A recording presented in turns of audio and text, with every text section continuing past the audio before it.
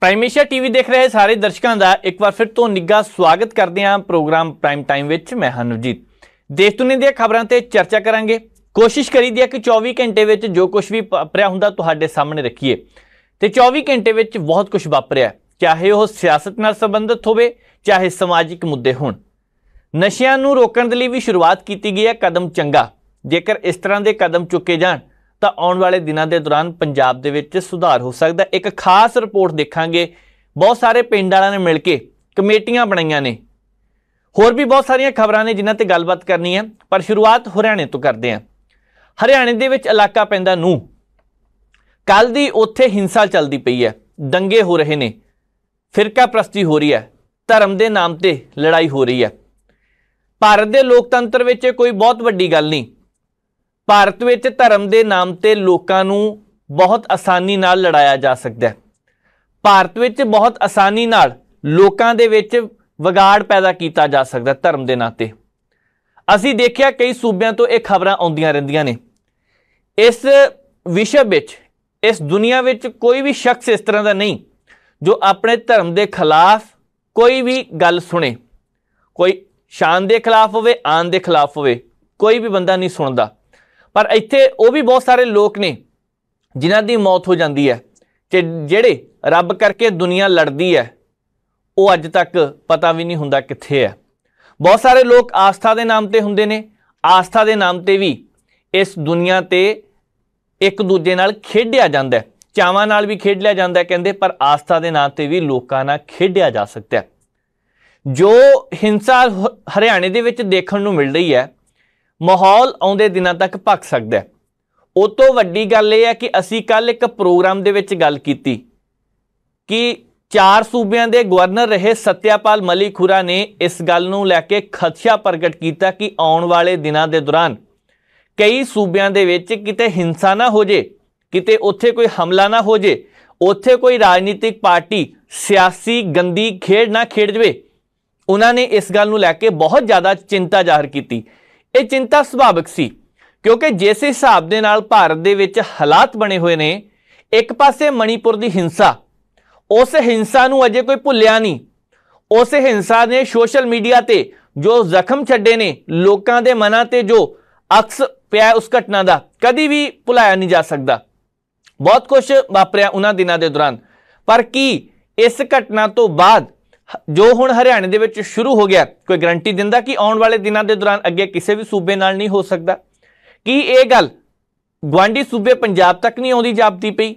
ਕੀ ਇਹ ਗੱਲ ਆਉਂਦੇ ਦਿਨਾਂ ਨੂੰ ਪੰਜਾਬ ਦੇ ਸਰਹੱਦੀ ਇਲਾਕਿਆਂ ਤੱਕ ਤਾਂ ਨਹੀਂ ਜਾ ਪਹੁੰਚੇਗੀ ਕਿਤੇ? ਬਹੁਤ ਕੁਝ ਹੋ ਸਕਦਾ ਹੈ। ਸਿਆਸਤ ਹੈ। ਸਿਆਸਤ ਵਿੱਚ ਤਿਲਕਣਬਾਜ਼ੀ ਵੀ ਬਹੁਤ ਹੁੰਦੀ ਹੈ ਤੇ ਖੁੰਦਕਬਾਜ਼ੀ ਵੀ ਬਹੁਤ ਹੁੰਦੀ ਹੈ। ਖੁੰਦਕਾਂ ਵੀ ਕੱਢੀਆਂ ਜਾਂਦੀਆਂ ਨੇ। ਪਰ ਜਿਸ ਹਿਸਾਬ ਦੇ ਨਾਲ ਇਸ ਵੇਲੇ ਖਬਰਾਂ ਸਾਹਮਣੇ ਆ ਰਹੀਆਂ ਨੇ ਕਿ ਹਰਿਆਣੇ ਦੇ ਵਿੱਚ ਹਿੰਸਾ ਹੋਈ ਹੈ। ਉੱਥੋਂ ਦੇ ਮੁੱਖ ਮੰਤਰੀ ਸਾਹਿਬ ਕੁਝ ਬੋਲਣ ਨੂੰ ਰਾਜ਼ੀ ਨਹੀਂ। ਉੱਥੋਂ ਦੇ ਗ੍ਰਹਿ ਮੰਤਰੀ ਬਿਆਨ ਦਿੰਦੇ ਨੇ ਤਾਂ ਉਸ ਬਿਆਨ ਦੇ ਵਿੱਚੋਂ ਵੀ ਚਲਕਾਰਾ ਕਿਸੇ ਹੋਰ ਹੀ ਚੀਜ਼ ਦਾ ਪੈਂਦਾ ਉਹ ਕਹਿੰਦੇ, ਜਿਸ ਪੱਧਰ ਤੇ ਹਿੰਸਾ ਹੋਈ ਹੈ, ਇਹ ਅਚਾਨਕ ਹੋਈ ਹਿੰਸਾ ਨਹੀਂ। ਇਹਦੇ ਪਿੱਛੇ ਜ਼ਹਿਰ ਘੋਲਿਆ ਗਿਆ ਇਹਦੇ ਪਿੱਛੇ ਇੰਜੀਨੀਅਰਿੰਗ ਕੀਤੀ ਗਈ ਹੈ। ਇਹਦੇ ਪਿੱਛੇ ਕੋਈ ਮਾਸਟਰਮਾਈਂਡ ਹੈ। ਕੌਣ ਹੈ ਉਹ ਮਾਸਟਰਮਾਈਂਡ ਕੌਣ ਹੈ ਉਹ ਇੰਜੀਨੀਅਰ ਕੌਣ ਹੈ ਉਹ ਸ਼ਖਸ ਜਿਹਨੇ ਇਸ ਸਾਰੀ ਘਟਨਾ ਨੂੰ ਅੰਜਾਮ ਦਿੱਤਾ? ਉਹਨੂੰ ਲੱਭਿਆ ਤਾਂ ਜਾਵੇ, ਕਾਰਵਾਈ ਤਾਂ ਕੀਤੀ ਜਾਵੇ, ਕੀ ਸਿਰਫ ਸਿਆਸੀ ਬਿਆਨ ਦੇਣ ਕਰਕੇ ਹਰਿਆਣੇ ਦੇ ਵਿੱਚ ਹੋ ਰਹੀ ਹਿੰਸਾ ਰੁਕ ਜਾਵੇਗੀ? ਪੰਜ ਲੋਕ ਜਿਨ੍ਹਾਂ ਦੀ ਮੌਤ ਹੋਈ ਹੈ ਉਹਦਾ ਜ਼ਿੰਮੇਵਾਰ ਕੌਣ ਹੈ? ਦੋ ਪੁਲਿਸ ਦੇ ਜਵਾਨ, ਹੋਮਗਾਰਡ, ਜਿਨ੍ਹਾਂ ਦੀ ਮੌਤ ਹੋਈ ਹੈ, ਕੌਣ ਜ਼ਿੰਮੇਵਾਰ ਹੈ?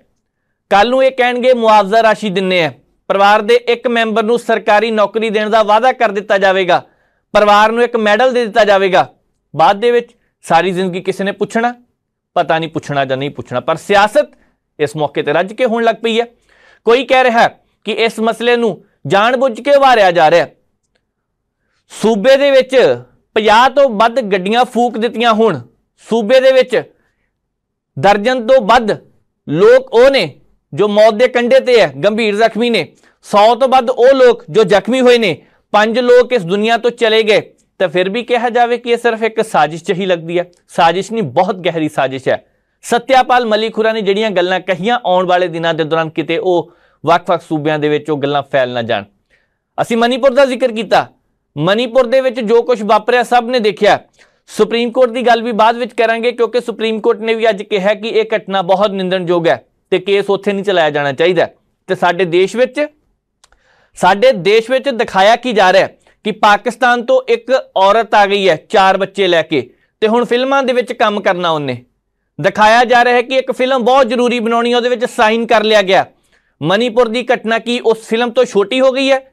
ਕੀ ਇਸ ਵੇਲੇ ਭਾਰਤ ਵਿੱਚ ਜੋ ਕੁਝ ਵਾਪਰਿਆ, ਵਿਸ਼ਵ ਦੇ ਵਿੱਚ ਅੰਤਰਰਾਸ਼ਟਰੀ ਪੱਧਰ ਤੇ ਇਸ ਚੀਜ਼ ਨੂੰ ਲੈ ਕੇ ਕਈ ਤਰ੍ਹਾਂ ਦੇ ਖੁਲਾਸੇ ਹੋ ਰਹੇ ਨੇ, ਕਈ ਤਰ੍ਹਾਂ ਦੀ ਕਿਰਕਰੀ ਹੋ ਰਹੀ ਹੈ ਤੇ ਅਸੀਂ ਇਸ ਚੀਜ਼ ਨੂੰ ਦੇਖੀਏ ਸਾਰਾ ਦਿਨ ਕਿ ਉਹ ਹੀਰੋਇਨ ਜਿਹੜੀ ਪਾਕਿਸਤਾਨ ਤੋਂ ਬਣਾਉਣ ਆਈ ਹੈ ਤੇ ਉਹਨੂੰ ਬਣਾਉਣ ਦੀ ਤਿਆਰੀ ਕੀਤੀ ਜਾ ਰਹੀ ਹੈ ਤੇ ਫਿਲਮ ਸਾਰਾ ਦਿਨ ਦੇਖਿਆ ਜਾਵੇ ਕਿ ਉਹ ਦਿਖਾਈ ਜਾਵੇਗੀ। ਕੀ ਹੋ ਰਿਹਾ ਹੈ ਕੀ ਚੱਲ ਰਿਹਾ ਹੈ? ਤਮਾਸ਼ਾ ਕਿਉਂ ਬਣਾ ਕੇ ਰੱਖਿਆ ਇਸ ਦੇਸ਼ ਦਾ? ਹੁਣ ਜਿਸ ਹਿਸਾਬ ਦੇ ਨਾਲ ਇਸ ਵੇਲੇ ਹਰਿਆਣੇ ਦੇ ਵਿੱਚ ਹਿੰਸਾ ਵਾਪਰੀ ਹੈ। ਕੌਣ ਹੈ ਉਹ ਸ਼ਖਸ ਜਿਹਦੇ ਕਰਕੇ ਇਹ ਸਾਰਾ ਰੌਲਾ ਪਿਆ ਕਈ ਜਣਿਆਂ ਦਾ ਨਾਮ ਆ ਰਿਹਾ, ਪਰ ਮੁੱਖ ਤੌਰ ਤੇ ਦੋ ਤਿੰਨ ਨਾਮ ਸਾਹਮਣੇ ਆ ਰਹੇ ਨੇ। ਇੱਕ ਸ਼ਖਸ ਦਾ ਨਾਮ ਹੈ ਮੋਨੂ ਮਾਨੇਸਰ ਜਿਸ ਨੂੰ ਪੁਲਿਸ ਲੱਭਣ ਦੀ ਕੋਸ਼ਿਸ਼ ਕਰ ਰਹੀ ਹੈ। ਪੁਲਿਸ ਕਹਿ ਰਹੀ ਹੈ ਕਿ ਅਸੀਂ 8 ਟੀਮਾਂ ਬਣਾਈਆਂ ਹੋਈਆਂ ਨੇ ਤੇ ਬਹੁਤ ਜਲਦੀ ਉਸ ਇਨਸਾਨ ਨੂੰ, ਉਸ ਸ਼ਖਸ ਨੂੰ ਫੜ ਲਿਆ ਜਾਵੇਗਾ। ਆਖਰ ਉਹ ਸ਼ਖਸ ਹੈ ਕੌਣ ਹੈ? ਜਿਹਦੇ ਕਰਕੇ ਸਾਰਾ ਕੁਝ ਹੋਇਆ। ਦਰਅਸਲ ਮਾਰਚ ਮਹੀਨੇ ਦੇ ਵਿੱਚ ਭਵਾਨੀ ਚ ਇੱਕ ਘਟਨਾ ਸਾਹਮਣੇ ਆਉਂਦੀ ਹੈ। ਉੱਥੇ ਦੋ ਨੌਜਵਾਨਾਂ ਨੂੰ ਜਿੰਦਾ ਸਾੜ ਦਿੱਤਾ ਗਿਆ। ਇੱਕ ਸ਼ਖਸ ਦਾ ਨਾਮ ਆਇਆ। ਉਹਦਾ ਨਾਮ ਮੋਨੂ ਮਾਨੇਸਰ ਸੀ। ਹੁਣ ਇਸ ਸ਼ਖਸ ਦੇ ਉੱਪਰ ਦੋਸ਼ ਲੱਗਦੇ ਸੀ, ਹਾਲਾਂਕਿ ਇਹ ਦੋਸ਼ੀ ਨਹੀਂ, ਇਹ ਤੇ ਦੋਸ਼ ਲੱਗਦੇ ਸੀ, ਸ਼ੱਕ ਸੀ, ਖਦਸ਼ਾ ਸੀ। ਪੁਲਿਸ ਉਸ ਮਸਲੇ ਦੇ ਵਿੱਚ ਵੀ ਅਜੇ ਜਿਹੜੀ ਜਾਣਕਾਰੀ ਇਕੱਠੀ ਕਰ ਰਹੀ ਹੈ। ਪੁਲਿਸ ਉਸ ਮਸਲੇ ਦੇ ਵਿੱਚ ਵੀ ਆਉਂਦੇ ਦਿਨਾਂ ਨੂੰ ਹੋ ਸਕਦਾ ਕਾਰਵਾਈ ਕਰੇ। ਪਰ ਹੋਇਆ ਕੀ ਸੀਗਾ? ਉਸ ਵੇਲੇ ਮੋਨੂ ਮਾਨੇਸਰ ਨੇ ਕਿਹਾ ਜਾ ਰਿਹਾ ਹੈ ਕਿ ਉਹਨਾਂ ਨੌਜਵਾਨਾਂ ਨੂੰ ਸਾੜਨ ਦੇ ਵਿੱਚ ਮਦਦ ਕੀਤੀ ਹੈ। ਅਸੀਂ ਫਿਰ ਕਹਿੰਨੇ ਆ ਕਿ ਇਹ ਜੋ ਗੱਲਾਂ ਸਾਹਮਣੇ ਆ ਰਹੀਆਂ ਨੇ, ਮੀਡੀਆ ਦੀਆਂ ਰਿਪੋਰਟਾਂ ਤੋਂ ਆ ਰਹੀਆਂ ਨੇ, ਹਰਿਆਣੇ ਦੀਆਂ ਮੀਡੀਆ ਰਿਪੋਰਟਾਂ ਤੋਂ ਆ ਰਹੀਆਂ ਨੇ। ਪੁਲਿਸ ਜਾਂਚ ਦਾ ਇਹ ਹਿੱਸਾ। ਪਰ ਕਿਹਾ ਜਾ ਰਿਹਾ ਹੈ ਕਿ ਕੁਝ ਮਹੀਨਾ ਪਹਿਲਾਂ ਨਾਸਿਰ ਜੁਨੈਦ ਕਤਲकांड ਦੇ ਵਿੱਚ ਇਹਦਾ ਨਾਮ ਮੁੱਖ ਤੌਰ ਤੇ ਆਇਆ। ਪੁਲਿਸ ਲੱਭ ਰਹੀ ਹੈ। ਤੇ ਹੁਣ ਵੀ 2 ਦਿਨ ਪਹਿਲਾਂ ਜਦੋਂ ਪਤਾ ਸੀ ਇੱਥੋਂ ਦੀ ਇੱਕ ਧਾਰਮਿਕ ਯਾਤਰਾ ਗੁਜ਼ਰਨੀ ਹੈ ਤੇ ਇੱਥੇ ਹਿੰਦੂ ਤਵੀ ਦੋ ਧੜੇ ਆਪਸ ਦੇ ਵਿੱਚ ਭਿੜ ਪਏ। ਇੱਕ ਨੇ ਕਿਹਾ ਕਿ ਅਸੀਂ ਵੀ ਉੱਥੇ ਆਵਾਂਗੇ, ਦੂਸਰਿਆਂ ਨੇ ਵਿਰੋਧ ਕੀਤਾ। ਜਦੋਂ ਇਹ ਧੜਾ ਜਿਹਨੂੰ ਪੁਲਿਸ ਨੇ ਵੀ ਰੋਕਿਆ ਸੀ, ਉੱਥੇ ਪਹੁੰਚਦਾ। ਪੁਲਿਸ ਨੇ ਉਚੇਚੇ ਤੌਰ ਤੇ ਪ੍ਰਬੰਧ ਵੀ ਕਰਕੇ ਦਿੱਤੇ। ਇਹ ਉੱਥੇ ਪਹੁੰਚਦਾ ਤੇ ਮਾਹੌਲ ਖਰਾਬ ਹੋ ਜਾਂਦਾ। ਪਤਾ ਨਹੀਂ ਲੱਗਦਾ ਭੀੜ ਦੇ ਵਿੱਚੋਂ ਕਿੰਨੇ ਗੋਲੀ ਚਲਾ ਦਿੱਤੀ ਹੈ। ਵੈਸੇ ਵੀ ਸਿਆਣੇ ਕਹਿੰਦੇ ਹੁੰਦੇ ਆ ਕਿ ਭੀੜ ਦੇ ਵਿੱਚੋਂ ਇਹ ਪਛਾਣਨਾ ਔਖਾ ਹੋ ਜਾਂਦਾ। ਸਮਝਦਾਰ ਕੌਣ ਹੈ ਤੇ ਮੂਰਖ ਕੌਣ ਹੈ? ਤੇ ਵੈਸੇ ਸਿਆਣੇ ਇਹ ਵੀ ਕਹਿੰਦੇ ਆ ਕਿ ਸਮਝਦਾਰ ਕਦੀ ਭੀੜ ਵਿੱਚ ਨਹੀਂ ਜਾਂਦੇ ਤੇ ਭੀੜ ਕਦੀ ਸਮਝਦਾਰ ਨਹੀਂ ਹੁੰਦੀ।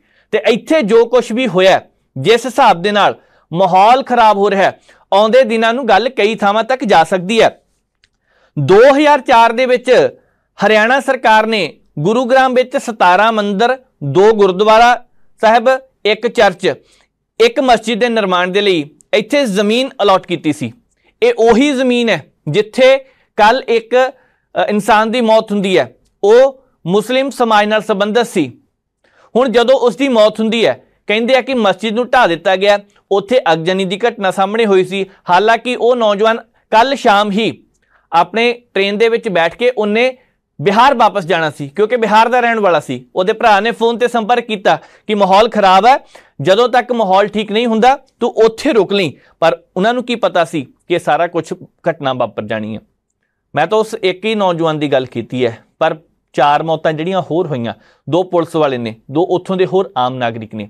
ਆਉਂਦੇ ਦਿਨਾਂ ਨੂੰ ਜੇਕਰ ਇਹ ਮਾਹੌਲ ਨਾ ਰੁਕਿਆ, ਤਾਂ ਕੰਮ ਬਹੁਤ ਜ਼ਿਆਦਾ ਖਰਾਬ ਹੋ ਸਕਦਾ। ਕਿਉਂ? ਕਿਉਂਕਿ ਇਹ ਜਿਹੜਾ ਨੌਜਵਾਨ ਜਿਹਦਾ ਨਾਮ ਸਾਹਮਣੇ ਆ ਰਿਹਾ ਹੈ, ਉਹ ਗਾਉਂ ਰੱਖਿਅਕ ਦੇ ਤੌਰ ਤੇ ਆਪਣੇ ਇਲਾਕੇ ਦੇ ਵਿੱਚ ਮਸ਼ਹੂਰ ਹੈ, ਸਮਾਜ ਸੇਵਾ ਕਰਦਾ ਹੈ। ਇਹ 'ਚ ਕੋਈ ਸ਼ੱਕ ਨਹੀਂ, ਸਮਾਜ ਸੇਵਾ ਕਰਨੀ ਚਾਹੀਦੀ ਹੈ। ਇਹ 'ਚ ਵੀ ਕੋਈ ਸ਼ੱਕ ਨਹੀਂ ਕਿ ਗਾਉਂ ਰੱਖਿਆ ਕਰਨੀ ਵੀ ਚਾਹੀਦੀ ਹੈ, ਕਿਉਂਕਿ ਇੱਥੇ ਇੱਕ ਵਿਸ਼ੇਸ਼ ਭਾਈਚਾਰੇ ਦੇ ਉੱਪਰ ਹਮੇਸ਼ਾ ਹੀ ਦੋਸ਼ ਲੱਗਦੇ ਰਹਿੰਦੇ ਆ। ਪਰ ਜੇਕਰ ਇਹ ਦੋਸ਼ ਲੱਗਦੇ ਰਹਿੰਦੇ ਆ, ਤੇ ਸੜਕਾਂ ਦੇ ਉੱਪਰ ਵੀ ਬਹੁਤ ਬੇਸਹਾਰਾ ਪਸ਼ੂ ਤੁਰੇ ਫਿਰਦੇ ਨੇ। ਇਹ ਕਹਿੰਦੇ ਅਵਾਰਾ ਨਹੀਂ ਕਹਿਣਾ, ਬੇਸਹਾਰਾ ਕਹਿਣਾ। ਬੇਸਹਾਰਾ ਪਸ਼ੂ ਤੁਰੇ ਫਿਰਦੇ ਨੇ ਤੇ ਉਹਨਾਂ ਨੂੰ ਵੀ ਸਾਂਭਣ ਦਾ ਕੰਮ ਤਾਂ ਕੀਤਾ ਜਾਵੇ ਨਾ ਇੱਕ ਵਾਰੀ। ਜਦੋਂ ਤਸਕਰੀ ਦੀਆਂ ਖਬਰਾਂ ਆਉਂਦੀਆਂ ਨੇ ਬਾਰਡਰ ਪਾਰ ਤੋਂ ਕਿਸੇ ਵੇਲੇ, ਤਾਂ ਉਸ ਵੇਲੇ ਕਿਉਂ ਨਹੀਂ ਇੱਧਰ ਕੋਈ ਧਿਆਨ ਦਿੰਦਾ? ਪਰ ਮਸਲਾ ਇਸ ਵੇਲੇ ਸਭ ਤੋਂ ਵੱਡਾ ਇਹੀ ਹੈ ਕਿ ਗਾਉ ਰੱਖਿਅਕ ਦੇ ਤੌਰ ਤੇ ਮੋਨੂ ਮਾਨੇਸਰ ਨੂੰ ਲੋਕ ਜਾਣਦੇ ਨੇ, ਪਰ ਕੱਲ ਜਦੋਂ ਉਸ ਭੀੜ ਦੇ ਵਿੱਚ ਸ਼ਾਮਲ ਹੁੰਦਾ, ਜਦੋਂ ਉੱਥੋਂ ਧਾਰਮਿਕ ਯਾਤਰਾ ਗੁਜ਼ਰ ਰਹੀ ਸੀ, ਤਾਂ ਉੱਥੇ ਪਤਾ ਨਹੀਂ ਲੱਗਿਆ ਕਿਹੜੇ ਵੇਲੇ ਗੋਲੀਬਾਰੀ ਚੱਲਣੀ ਸ਼ੁਰੂ ਹੋ ਗਈ ਤੇ ਦੋ ਜਣਿਆਂ ਦੀ ਮੌਤ ਹੋ ਗਈ। ਪਹਿਲਾਂ ਇੱਕ ਜਣੇ ਦੀ ਮੌਤ ਦੀ ਖਬਰ ਸੀ। ਹੁਣ ਕਰਦੇ ਕਰਦੇ ਗਿਣਤੀ, ਅੰਕੜਾ, ਇਹ ਅੱਗੇ ਵੱਲ ਵੱਧਦਾ ਦਿਖਾਈ ਦੇ ਰਿਹਾ ਹੈ। ਪੁਲਿਸ ਕਹਿ ਰਹੀ ਹੈ ਕਿ ਅਸੀਂ ਸਖਤ ਕਾਰਵਾਈ ਕਰਾਂਗੇ। ਪੁਲਿਸ ਕਹਿ ਰਹੀ ਹੈ, ਆਉਂਦੇ ਦਿਨਾਂ ਨੂੰ ਜਿੰਨੇ ਵੀ ਮਾਹੌਲ ਖਰਾਬ ਕਰਨ ਦੀ ਕੋਸ਼ਿਸ਼ ਕੀਤੀ, ਉਹਨੂੰ ਅਸੀਂ ਸਖਤੀ ਨਾਲ ਸਜ਼ਾ ਦਵਾਂਗੇ। ਸਜ਼ਾ ਮਿਲਣੀ ਚਾਹੀਦੀ ਹੈ, ਪਰ ਕੀ? ਵਾਕਈ ਇਹ ਸਾਰਾ ਕੁਝ ਹੋ ਜਾਏਗਾ? ਇਹ ਆਉਣ ਵਾਲਾ ਸਮਾਂ ਦੱਸੇਗਾ। ਪਰ ਜਿਸ ਹਿਸਾਬ ਦੇ ਨਾਲ ਇਸ ਮਸਲੇ ਤੇ ਸਿਆਸਤ ਹੋਣੀ ਸ਼ੁਰੂ ਹੋ ਚੁੱਕੀ ਹੈ, ਇਹ ਸਿਆਸਤ ਲੱਗਦਾ ਇਸੇ ਤਰ੍ਹਾਂ ਹੋਣੀ ਹੈ। ਅੱਗੇ ਵਧਦੇ ਹਾਂ ਗੱਲ ਕਰਨੀ ਹੈ ਦਿੱਲੀ ਦੀ। ਦਿੱਲੀ ਦੇ ਵਿੱਚ ਪਾਰਲੀਮੈਂਟ 'ਚ ਕਿਹਾ ਜਾ ਰਿਹਾ ਹੈ ਕਿ ਇੱਕ ਬਿੱਲ ਪੇਸ਼ ਕੀਤਾ ਗਿਆ। ਹਾਲਾਂਕਿ ਸਾਡੇ ਪ੍ਰੋਗਰਾਮ ਤੋਂ ਕੁਝ ਸਮਾਂ ਪਹਿਲਾਂ ਜਦੋਂ ਉਹ ਬਿੱਲ ਪੇਸ਼ ਕੀਤਾ ਗਿਆ, ਉਹ ਤੇ ਬਹਿਸ ਸੁਣੀ ਸੀ। ਵਿਰੋਧੀਆਂ ਨੇ ਉਸ ਮਸਲੇ ਨੂੰ ਲੈ ਕੇ ਦਿੱਲੀ ਆਰਡੀਨੈਂਸ ਵਾਲਾ ਜੋ ਮਾਮਲਾ, ਉਹ ਤੇ ਵਿਰੋਧ ਜਤਾਇਆ ਵਿਰੋਧੀ ਕਹਿੰਦੇ, ਅਸੀਂ ਇਹ ਬਿੱਲ ਪਾਸ ਨਹੀਂ ਹੋਣ ਦੇਣਾ। ਪੇਸ਼ ਤਾਂ ਹੋ ਗਿਆ, ਪਾਸ ਨਹੀਂ ਹੋਣ ਦੇਣਾ। ਪਰ ਵਿਰੋਧੀ ਕਿੰਨਾ ਚਿਰ ਉਹਨੂੰ ਰੋਕ ਸਕਦੇ ਆ? ਕਿਉਂਕਿ 272 ਦਾ ਅੰਕੜਾ ਤੇ 322 ਤਾਂ ਪਹਿਲੇ ਪਾਰਲੀਮੈਂਟ ਦੇ ਵਿੱਚ ਮੈਂਬਰ ਕੁੱਲ ਮਿਲਾ ਕੇ ਭਾਜਪਾ ਦੇ ਕੋਲ ਹੈਗੇ ਆ ਤੇ ਉਸ ਬਿੱਲ ਨੂੰ ਹੋ ਸਕਦਾ ਪਾਸ ਹੋਣ ਤੋਂ ਕੋਈ ਵੀ ਨਾ ਰੋਕੇ। ਪਰ ਜਿਹੜੀ ਚਿੰਤਾ ਦੀ ਗੱਲ ਹੈ, ਚਾਹੇ ਅਧੀਰ ਰੰਜਨ ਚੌਧਰੀ ਹੋਣ, ਚਾਹੇ ਕਾਂਗਰਸ ਦੇ ਮਲਕਾਰਜਨ ਖੜਗੇ ਹੋਣ, ਚਾਹੇ ਕੋਈ ਹੋਰ ਸਿਆਸੀ ਪਾਰਟੀ ਦੇ ਵਿਰੋਧੀ ਧਿਰ ਦੇ ਆਗੂ ਹੋਣ, ਹੁਣ ਇਹ ਸਮਝਣਾ ਚਾਹੀਦਾ ਕਿ ਪਿਛਲੇ ਦਿਨਾਂ ਤੋਂ ਦਿੱਲੀ ਵਿੱਚ ਜੋ ਆਰਡੀਨੈਂਸ ਲਿਆਉਣ ਦੀ ਤਿਆਰੀ ਕੀਤੀ ਜਾ ਰਹੀ ਸੀ, ਜੋ ਪੇਸ਼ ਕਰ ਦਿੱਤਾ ਗਿਆ, ਉਹਦੇ ਵਿੱਚ ਦੋ ਗੱਲਾਂ ਨਿਕਲ ਕੇ ਹੋਰ ਸਾਹਮਣੇ ਆ ਰਹੀਆਂ ਨੇ। ਇੱਕ ਤਾਂ ਇਹ ਹੈ ਕਿ ਜਿਹੜੀ ਉੱਥੇ ਦੀ ਕਾਨੂੰਨ ਵਿਵਸਥਾ ਸੀ, ਜਿਹੜੀ ਕਿਸੇ ਨੂੰ ਤਬਾਦਲਾ ਕਰਨਾ ਸੀ ਨੌਕਰੀ ਤੇ ਲਗਾਉਣਾ ਸੀਗਾ ਜਾਂ ਕਿ ਇਹਦੀ ਪੋਸਟਿੰਗ ਕਰਨੀ ਸੀ, ਉਹ ਅਧਿਕਾਰ ਪਹਿਲਾਂ ਸਰਕਾਰ ਦੇ ਕੋਲ ਸੀ ਦਿੱਲੀ। ਫਿਰ ਉਹ ਲੈਫਟੀਨੈਂਟ ਗਵਰਨਰ ਸਾਹਿਬ ਦੇ ਕੋਲ ਗਏ। ਪਰ ਹੁਣ ਉੱਥੇ ਕਾਨੂੰਨ ਬਣਾਉਣ ਦੀ ਪ੍ਰਕਿਰਿਆ ਵੀ ਖਤਮ ਹੋ ਚੁੱਕੀ ਹੈ। ਉਹ ਸਾਰਾ ਕੁਝ ਲੈਫਟੀਨੈਂਟ ਗਵਰਨਰ ਕੋ ਹੁੰਦੇ ਹੋਏ ਕੇਂਦਰ ਦੇ ਵਾਲੇ ਪਾਸੇ ਤਾਕਤਾਂ ਦੇ ਕੋਲ ਚੱਲ ਜਾਣਾ ਤਾਂ ਫਿਰ ਦਿੱਲੀ ਸਰਕਾਰ ਕੀ, ਉੱਥੇ ਸਿਰਫ ਨਾਮ ਦੀ ਸਰਕਾਰ ਰਹਿ ਜੇਗੀ ਹੋ ਸਕਦਾ ਆਉਂਦੇ ਦਿਨਾਂ ਨੂੰ ਇਹ ਸਾਰਾ ਕੁਝ ਹੋ ਜਵੇ। ਇਹ ਕਿਉਂ ਸ਼ੁਰੂ ਹੁੰਦਾ ਲੜਾਈ ਮਈ 2015 ਤੋਂ ਸ਼ੁਰੂ ਹੁੰਦੀ ਹੈ।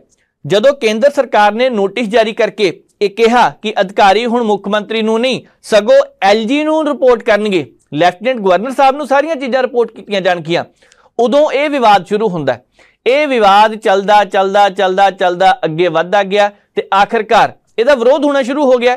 ਕਿਉਂਕਿ ਇਹ ਕੇਜਰੀਵਾਲ ਸਾਹਿਬ ਨੇ ਸੋਚਿਆ ਕਿ ਫਿਰ ਸਾਡੇ ਫਾਇਦਾ ਇੱਥੇ ਕੀ ਆ ਬਣਦਾ? ਜੇਕਰ ਟਰਾਂਸਫਰ ਪੋਸਟਿੰਗ ਦਾ ਅਧਿਕਾਰ ਵੀ ਸਾਡੇ ਕੋਲ ਨਹੀਂ ਰਹਿਣਾ, ਸਾਨੂੰ ਤਾਂ ਅਦਾਲਤ ਵਿੱਚ ਜਾਣਾ ਚਾਹੀਦਾ।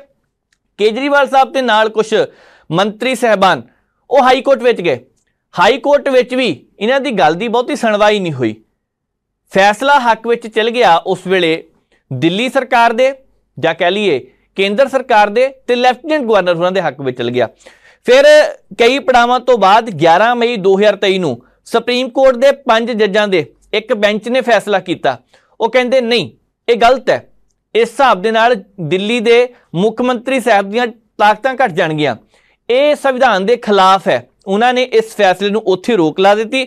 ਨਾਲ ਹੀ ਕਹਿਤਾ ਕਿ ਜੇਕਰ ਤੁਸੀਂ ਕੋਈ ਵੀ ਕੰਮ ਕਰਨਾ, ਤਾਂ ਉਹਦੇ ਵਿੱਚ ਗਵਰਨਰ ਸਾਹਿਬ ਜਿਹੜੇ ਉਪ ਗਵਰਨਰ ਨੇ, ਉਹਨਾਂ ਦੀ ਸਲਾਹ ਦਾ ਹੋਣਾ ਜ਼ਰੂਰੀ ਹੈ। ਉਹਨਾਂ ਦੀ ਸਲਾਹ ਤੋਂ ਬਿਨਾ ਕੁਝ ਨਹੀਂ ਕੀਤਾ ਜਾਣਾ ਚਾਹੀਦਾ ਤੇ ਹਾਂ, ਇੱਕ ਕਮੇਟੀ ਬਣਾ ਦਿੱਤੀ ਗਈ। ਅਧਿਕਾਰੀਆਂ ਨੂੰ ਕੰਟਰੋਲ ਕਰਨ ਦਾ ਅਧਿਕਾਰ, ਸਾਰਾ ਕੁਝ ਮੁੱਖ ਮੰਤਰੀ ਸਾਹਿਬ ਨੂੰ ਦੇ ਦਿੱਤਾ ਗਿਆ। ਪਰ ਨਾਲ ਇਹ ਗੱਲ ਕਹਿ ਦਿੱਤੀ ਗਈ ਕਿ ਲੈਫਟੀਨੈਂਟ ਗਵਰਨਰ ਹੁਣਾਂ ਤੋਂ ਪੁੱਛੇ ਤੋਂ ਬਿਨਾ ਇਹ ਕੰਮ ਨਹੀਂ ਕਰਨਾ। ਸੁਭਾਵਿਕ ਸੀ ਇਸ ਤੋਂ ਬਾਅਦ ਫਿਰ ਰੌਲਾ ਪੈਣਾ। ਕਰਦੇ ਕਰਦੇ 19 ਮਈ ਨੂੰ ਅਧਿਕਾਰੀਆਂ ਦੇ ਤਬਾਦਲੇ ਸੰਬੰਧੀ ਇੱਕ ਆਰਡੀਨੈਂਸ ਪਿਛਲੇ ਦਰਵਾਜ਼ੇ ਥਾਣੀ ਆ ਗਿਆ। ਹੁਣ ਉਸ ਆਰਡੀਨੈਂਸ ਨੂੰ ਲਿਆ ਕੇ ਫਿਰ ਤੋਂ ਤਾਕਤਾਂ ਜਿਹੜੀਆਂ, ਉਹ ਦੱਸ ਦਿੱਤਾ ਗਿਆ ਕਿ ਲੈਫਟੀਨੈਂਟ ਗਵਰਨਰ ਸਾਹਿਬ ਕੋ ਹੋਣਗੀਆਂ। ਕਰਦੇ ਕਰਦੇ ਦਿਨ ਬੀਤਦੇ ਗਏ। ਗਵਰਨਰ ਸਾਹਿਬ ਜਿਹੜੇ ਉੱਥੇ ਦੇ ਉਪ ਗਵਰਨਰ ਨੇ, ਉਹਨਾਂ ਨੂੰ ਇੰਨੀਆਂ ਕਿ ਤਾਕਤਾਂ ਦਿੱਤੀਆਂ ਕਿ ਮੁੱਖ ਮੰਤਰੀ ਸਾਹਿਬ ਦੀਆਂ ਤਾਕਤਾਂ ਘੱਟ ਹੋ ਗਈਆਂ। ਹੁਣ ਵੀ ਕਹਿੰਦੇ ਪਏ ਆ ਕਿ ਜੇਕਰ ਕਿਸੇ ਨੇ ਕੋਈ ਨਵਾਂ ਕਾਨੂੰਨ ਬਣਾਉਣਾ, ਤਾਂ ਪਹਿਲਾਂ ਵਿਧਾਨ ਸਭਾ 'ਚ ਜਾਣਾ ਹੁੰਦਾ ਸੀ। ਪਰ ਹੁਣ ਵਿਧਾਨ ਸਭਾ 'ਚ ਜਾਣ ਦੀ ਜ਼ਰੂਰਤ ਹੀ ਨਹੀਂ, ਜਿਸ ਹਿਸਾਬ ਦੇ ਨਾਲ ਉਹਨਾਂ ਨੇ ਸੋਧ ਕਰਕੇ ਰੱਖ ਦਿੱਤੀ ਹੈ। ਤੇ ਇਹ ਸੋਧ ਜਿਹੜੀ ਕੀਤੀ ਗਈ ਹੈ, ਸੰਵਿਧਾਨ ਦੀ ਧਾਰਾ 239 ਏ ਏ ਦੇ ਤਹਿਤ ਕੀਤੀ ਗਈ ਹੈ, ਜਿਹਦੇ ਅਨੁਸਾਰ ਵਿਧਾਨ ਸਭਾ ਦੇ ਵਿੱਚ ਹੁਣ ਕੁਝ ਵੀ ਲੈ ਕੇ ਜਾਣ ਦੀ ਜ਼ਰੂਰਤ ਨਹੀਂ, ਸਾਰਾ ਕੁਝ ਕੇਂਦਰ ਸਰਕਾਰ ਆਪ ਹੀ ਫੈਸਲਾ ਲੈ ਸਕਦੀ ਹੈ। ਤੇ ਜੇਕਰ ਇਹ ਗੱਲ ਆ ਗਈ ਹੈ, ਤੇ ਫਿਰ ਮੰਨ ਕੇ ਚੱਲਣਾ ਚਾਹੀਦਾ, ਆਉਂਦੇ ਦਿਨਾਂ ਨੂੰ ਵਿਧਾਨ ਸਭਾ ਕਿਹੜੇ ਨਾਮ ਦੀ ਰਹਿ ਗਈ, ਕੇਜਰੀਵਾਲ ਸਾਹਿਬ ਦੇ ਕੋਲ ਕਿਹੜੀਆਂ ਤਾਕਤਾਂ ਰਹਿ ਗਈਆਂ? ਇਹ ਸਿੱਧੇ ਤੌਰ ਤੇ ਕੁਝ ਸਿਆਸੀ ਮਾਹਰ ਕਹਿ ਰਹੇ ਆ ਕਿ ਲੋਕਤੰਤਰ ਦਾ ਗਲਾ ਘੁੱਟਣ ਦੀ ਕੋਸ਼ਿਸ਼ ਕੀਤੀ ਜਾ ਰਹੀ ਹੈ। ਕੋਈ ਕਹਿ ਰਿਹਾ ਕਿ ਸੰਵਿਧਾਨ ਨੂੰ ਬਦਲਿਆ ਜਾ ਰਿਹਾ ਹੈ, ਸੰਵਿਧਾਨ ਦੀਆਂ ਧਾਰਾਵਾਂ ਨੂੰ ਕੁਝ ਨਹੀਂ ਮੰਨਿਆ ਜਾ ਰਿਹਾ। ਤੇ ਹੁਣ ਜਿਸ ਹਿਸਾਬ ਦੇ ਨਾਲ ਇਸ ਐਕਟ ਦਾ ਨਾਮ NCCSA ਬਣਾਉਣ ਦਾ ਅਧਿਕਾਰ ਦਿੱਤਾ, ਇਹਨੂੰ national capital civil service authority ਦਾ ਨਾਮ ਆਉਣ ਵਾਲੇ ਦਿਨਾਂ 'ਚ ਮਿਲ ਜਾਣਾ ਤੇ ਜੇਕਰ ਇਹ ਨਾਮ ਮਿਲ ਗਿਆ ਤੇ ਮੰਨ ਕੇ ਚੱਲੀਏ ਕਿ ਦਿੱਲੀ ਸਰਕਾਰ ਦੀਆਂ ਤਾਕਤਾਂ ਇਹਨਾਂ ਬਹੁਤ ਘਟ ਜਾਣੀਆਂ, ਫਿਰ ਹਲਫਨਾਮਾ ਦਿੱਤਾ ਹੋਵੇ, ਚਾਹੇ ਕੋਈ ਵੀ ਨਾਮਾ ਦਿੱਤਾ ਹੋਵੇ, ਇਹਦੇ ਨਾਲ ਬਹੁਤਾ ਫ਼ਰਕ ਪੈਣ ਵਾਲਾ ਨਹੀਂ। ਤੇ ਫ਼ਰਕ ਕਿਸ ਚੀਜ਼ ਨਾਲ ਪੈਂਦਾ ਫ਼ਰਕ ਕਿਸ ਚੀਜ਼ ਨਾਲ ਪੈਂਦਾ ਕਿ ਆਉਂਦੇ ਦਿਨਾਂ ਨੂੰ ਇਹ ਗੱਲ ਦੂਜੇ ਸੂਬਿਆਂ ਤੱਕ ਵੀ ਜਾ ਸਕਦੀ ਹੈ। ਫ਼ਰਕ ਇਸ ਚੀਜ਼ ਦਾ ਪੈਂਦਾ ਕਿ ਜੇਕਰ ਇਹ ਦੂਜੇ ਸੂਬਿਆਂ ਤੱਕ ਚਲੇ ਗਈ ਤਾਂ 2024 ਦੀਆਂ ਲੋਕ ਸਭਾ ਦੀਆਂ ਚੋਣਾਂ ਤੋਂ ਪਹਿਲਾਂ ਜੋ ਦਿੱਲੀ ਦੇ ਵਿੱਚ ਇੱਕ ਪ੍ਰੈਕਟੀਕਲ ਹੋ ਰਿਹਾ ਹੈ, ਇਹ ਪ੍ਰੈਕਟੀਕਲ ਕਈ ਸੂਬਿਆਂ ਦੇ ਵਿੱਚ ਕੀਤਾ ਜਾ ਸਕਦਾ ਹਾਲਾਂਕਿ, ਜੇਕਰ ਅਸੀਂ ਦੂਸਰੇ ਪਾਸੇ ਦੇਖੀਏ, ਵਿਸ਼ਵ ਦੇ ਕਈ ਦੇਸ਼ ਨੇ ਜੋ ਇਸ ਪਾਲਿਸੀ ਦੇ ਤਹਿਤ ਕੰਮ ਕਰ ਰਹੇ ਨੇ ਤੇ ਉਹੀ ਦੇਸ਼ ਨੇ ਜਿੱਥੇ ਲੋਕਤੰਤਰ ਦੇ ਖਿਲਾਫ ਇਸ ਵੇਲੇ ਆਵਾਜ਼ ਬੁਲੰਦ ਕਰਨ ਦੀ ਕੋਸ਼ਿਸ਼ ਕੀਤੀ ਜਾ ਰਹੀ ਹੈ, ਪਰ ਉੱਥੇ ਲੋਕਤੰਤਰ ਦਾ ਗਲਾ ਘੁੱਟਣ ਦੀ ਕੋਸ਼ਿਸ਼ ਕੀਤੀ ਜਾ ਰਹੀ ਹੈ। ਇਜ਼ਰਾਈਲ ਦੇ ਵਿੱਚ ਵੀ ਇਹੀ ਸਾਰਾ ਕੁਝ ਹੋਇਆ। ਇਜ਼ਰਾਈਲ ਨੂੰ ਹਾਲਾਂਕਿ ਇਸ ਐਕਟ ਦੇ ਨਾਲ ਜੋੜ ਕੇ ਨਹੀਂ ਦੇਖਦੇ, ਪਰ ਉੱਥੇ ਵੀ ਜਿਹੜੇ ਬੈਂਜ਼ਾਮਿਨ ਨੇਤਨਯਾਹੂ ਨੇ ਪ੍ਰਧਾਨ ਮੰਤਰੀ ਉੱਥੋਂ ਦੇ, ਉਹਨਾਂ ਨੇ ਵੀ ਸੁਪਰੀਮ ਕੋਰਟ ਦੀਆਂ ਤਾਕਤਾਂ ਘਟਾ ਕੇ ਰੱਖ ਦਿੱਤੀਆਂ। ਜੋ ਕੁਝ ਵੀ ਹੋਊਗਾ ਸਰਕਾਰ ਦੀ ਸਲਾਹ ਨਾਲ ਹੋਊਗਾ। ਚਲੋ, ਜੇਕਰ ਇਦਾਂ ਹੋ ਗਿਆ, ਲੋਕ ਸੜਕਾਂ ਤੇ ਹੈ। ਨੇਤਨਯਾਹੂ ਪਹਿਲਾਂ ਵੀ ਗੱਦੀ ਤੋਂ ਲਾਤੇ ਦੀ ਫੇ ਬਣ ਗਏ, ਫਿਰ ਲਾਤੇ ਫੇ ਬਣ ਗਏ ਫੇ ਲਾਤੇ ਫਿਰ ਬਣ ਗਏ ਤੇ ਹੁਣ ਫਿਰ ਤੋਂ ਲੋਕ ਸੜਕਾਂ ਤੇ ਹੈ। ਦੇਖਦੇ ਕੀ ਬਣਦਾ, ਪਰ ਗੱਲ ਉਧਰ ਨੂੰ ਜਾਂਦੀ ਇਹ ਦਿਖਾਈ ਦੇ ਰਹੀ ਹੈ। ਅੱਗੇ ਵਧਦੇ ਹਾਂ ਗੱਲ ਕਰਦੇ ਪੰਜਾਬ ਦੀ ਸਿਆਸਤ ਦੀ। ਪੰਜਾਬ ਦੀ ਸਿਆਸਤ ਵਿੱਚ ਇਸ ਵੇਲੇ ਜੋ ਕੁਝ ਵੀ ਹੋ ਰਿਹਾ ਹੈ ਇੱਕ ਵੱਖਰੀ ਖੇਡ ਖੇਡੀ ਜਾ ਰਹੀ ਹੈ। ਬੱਚੇ ਹੁੰਦੇ ਸੀ ਛੋਟੇ, ਉਹ ਬਾਂਟੇ ਖੇਲਦੇ ਸੀ। ਬੱਚੇ ਹੁੰਦੇ ਸੀ ਛੋਟੇ, ਉਹ ਚਿੜੀ ਉੱਡ ਕਾਂ ਉੱਡ ਖੇਲਦੇ ਸੀ। ਬੱਚੇ ਹੁੰਦੇ ਸੀ ਛੋਟੇ ਤੇ ਉਹ ਗੜੈਂਗੜਾਂ ਗੜੁੱਪ ਖੇਲਦੇ ਸੀ।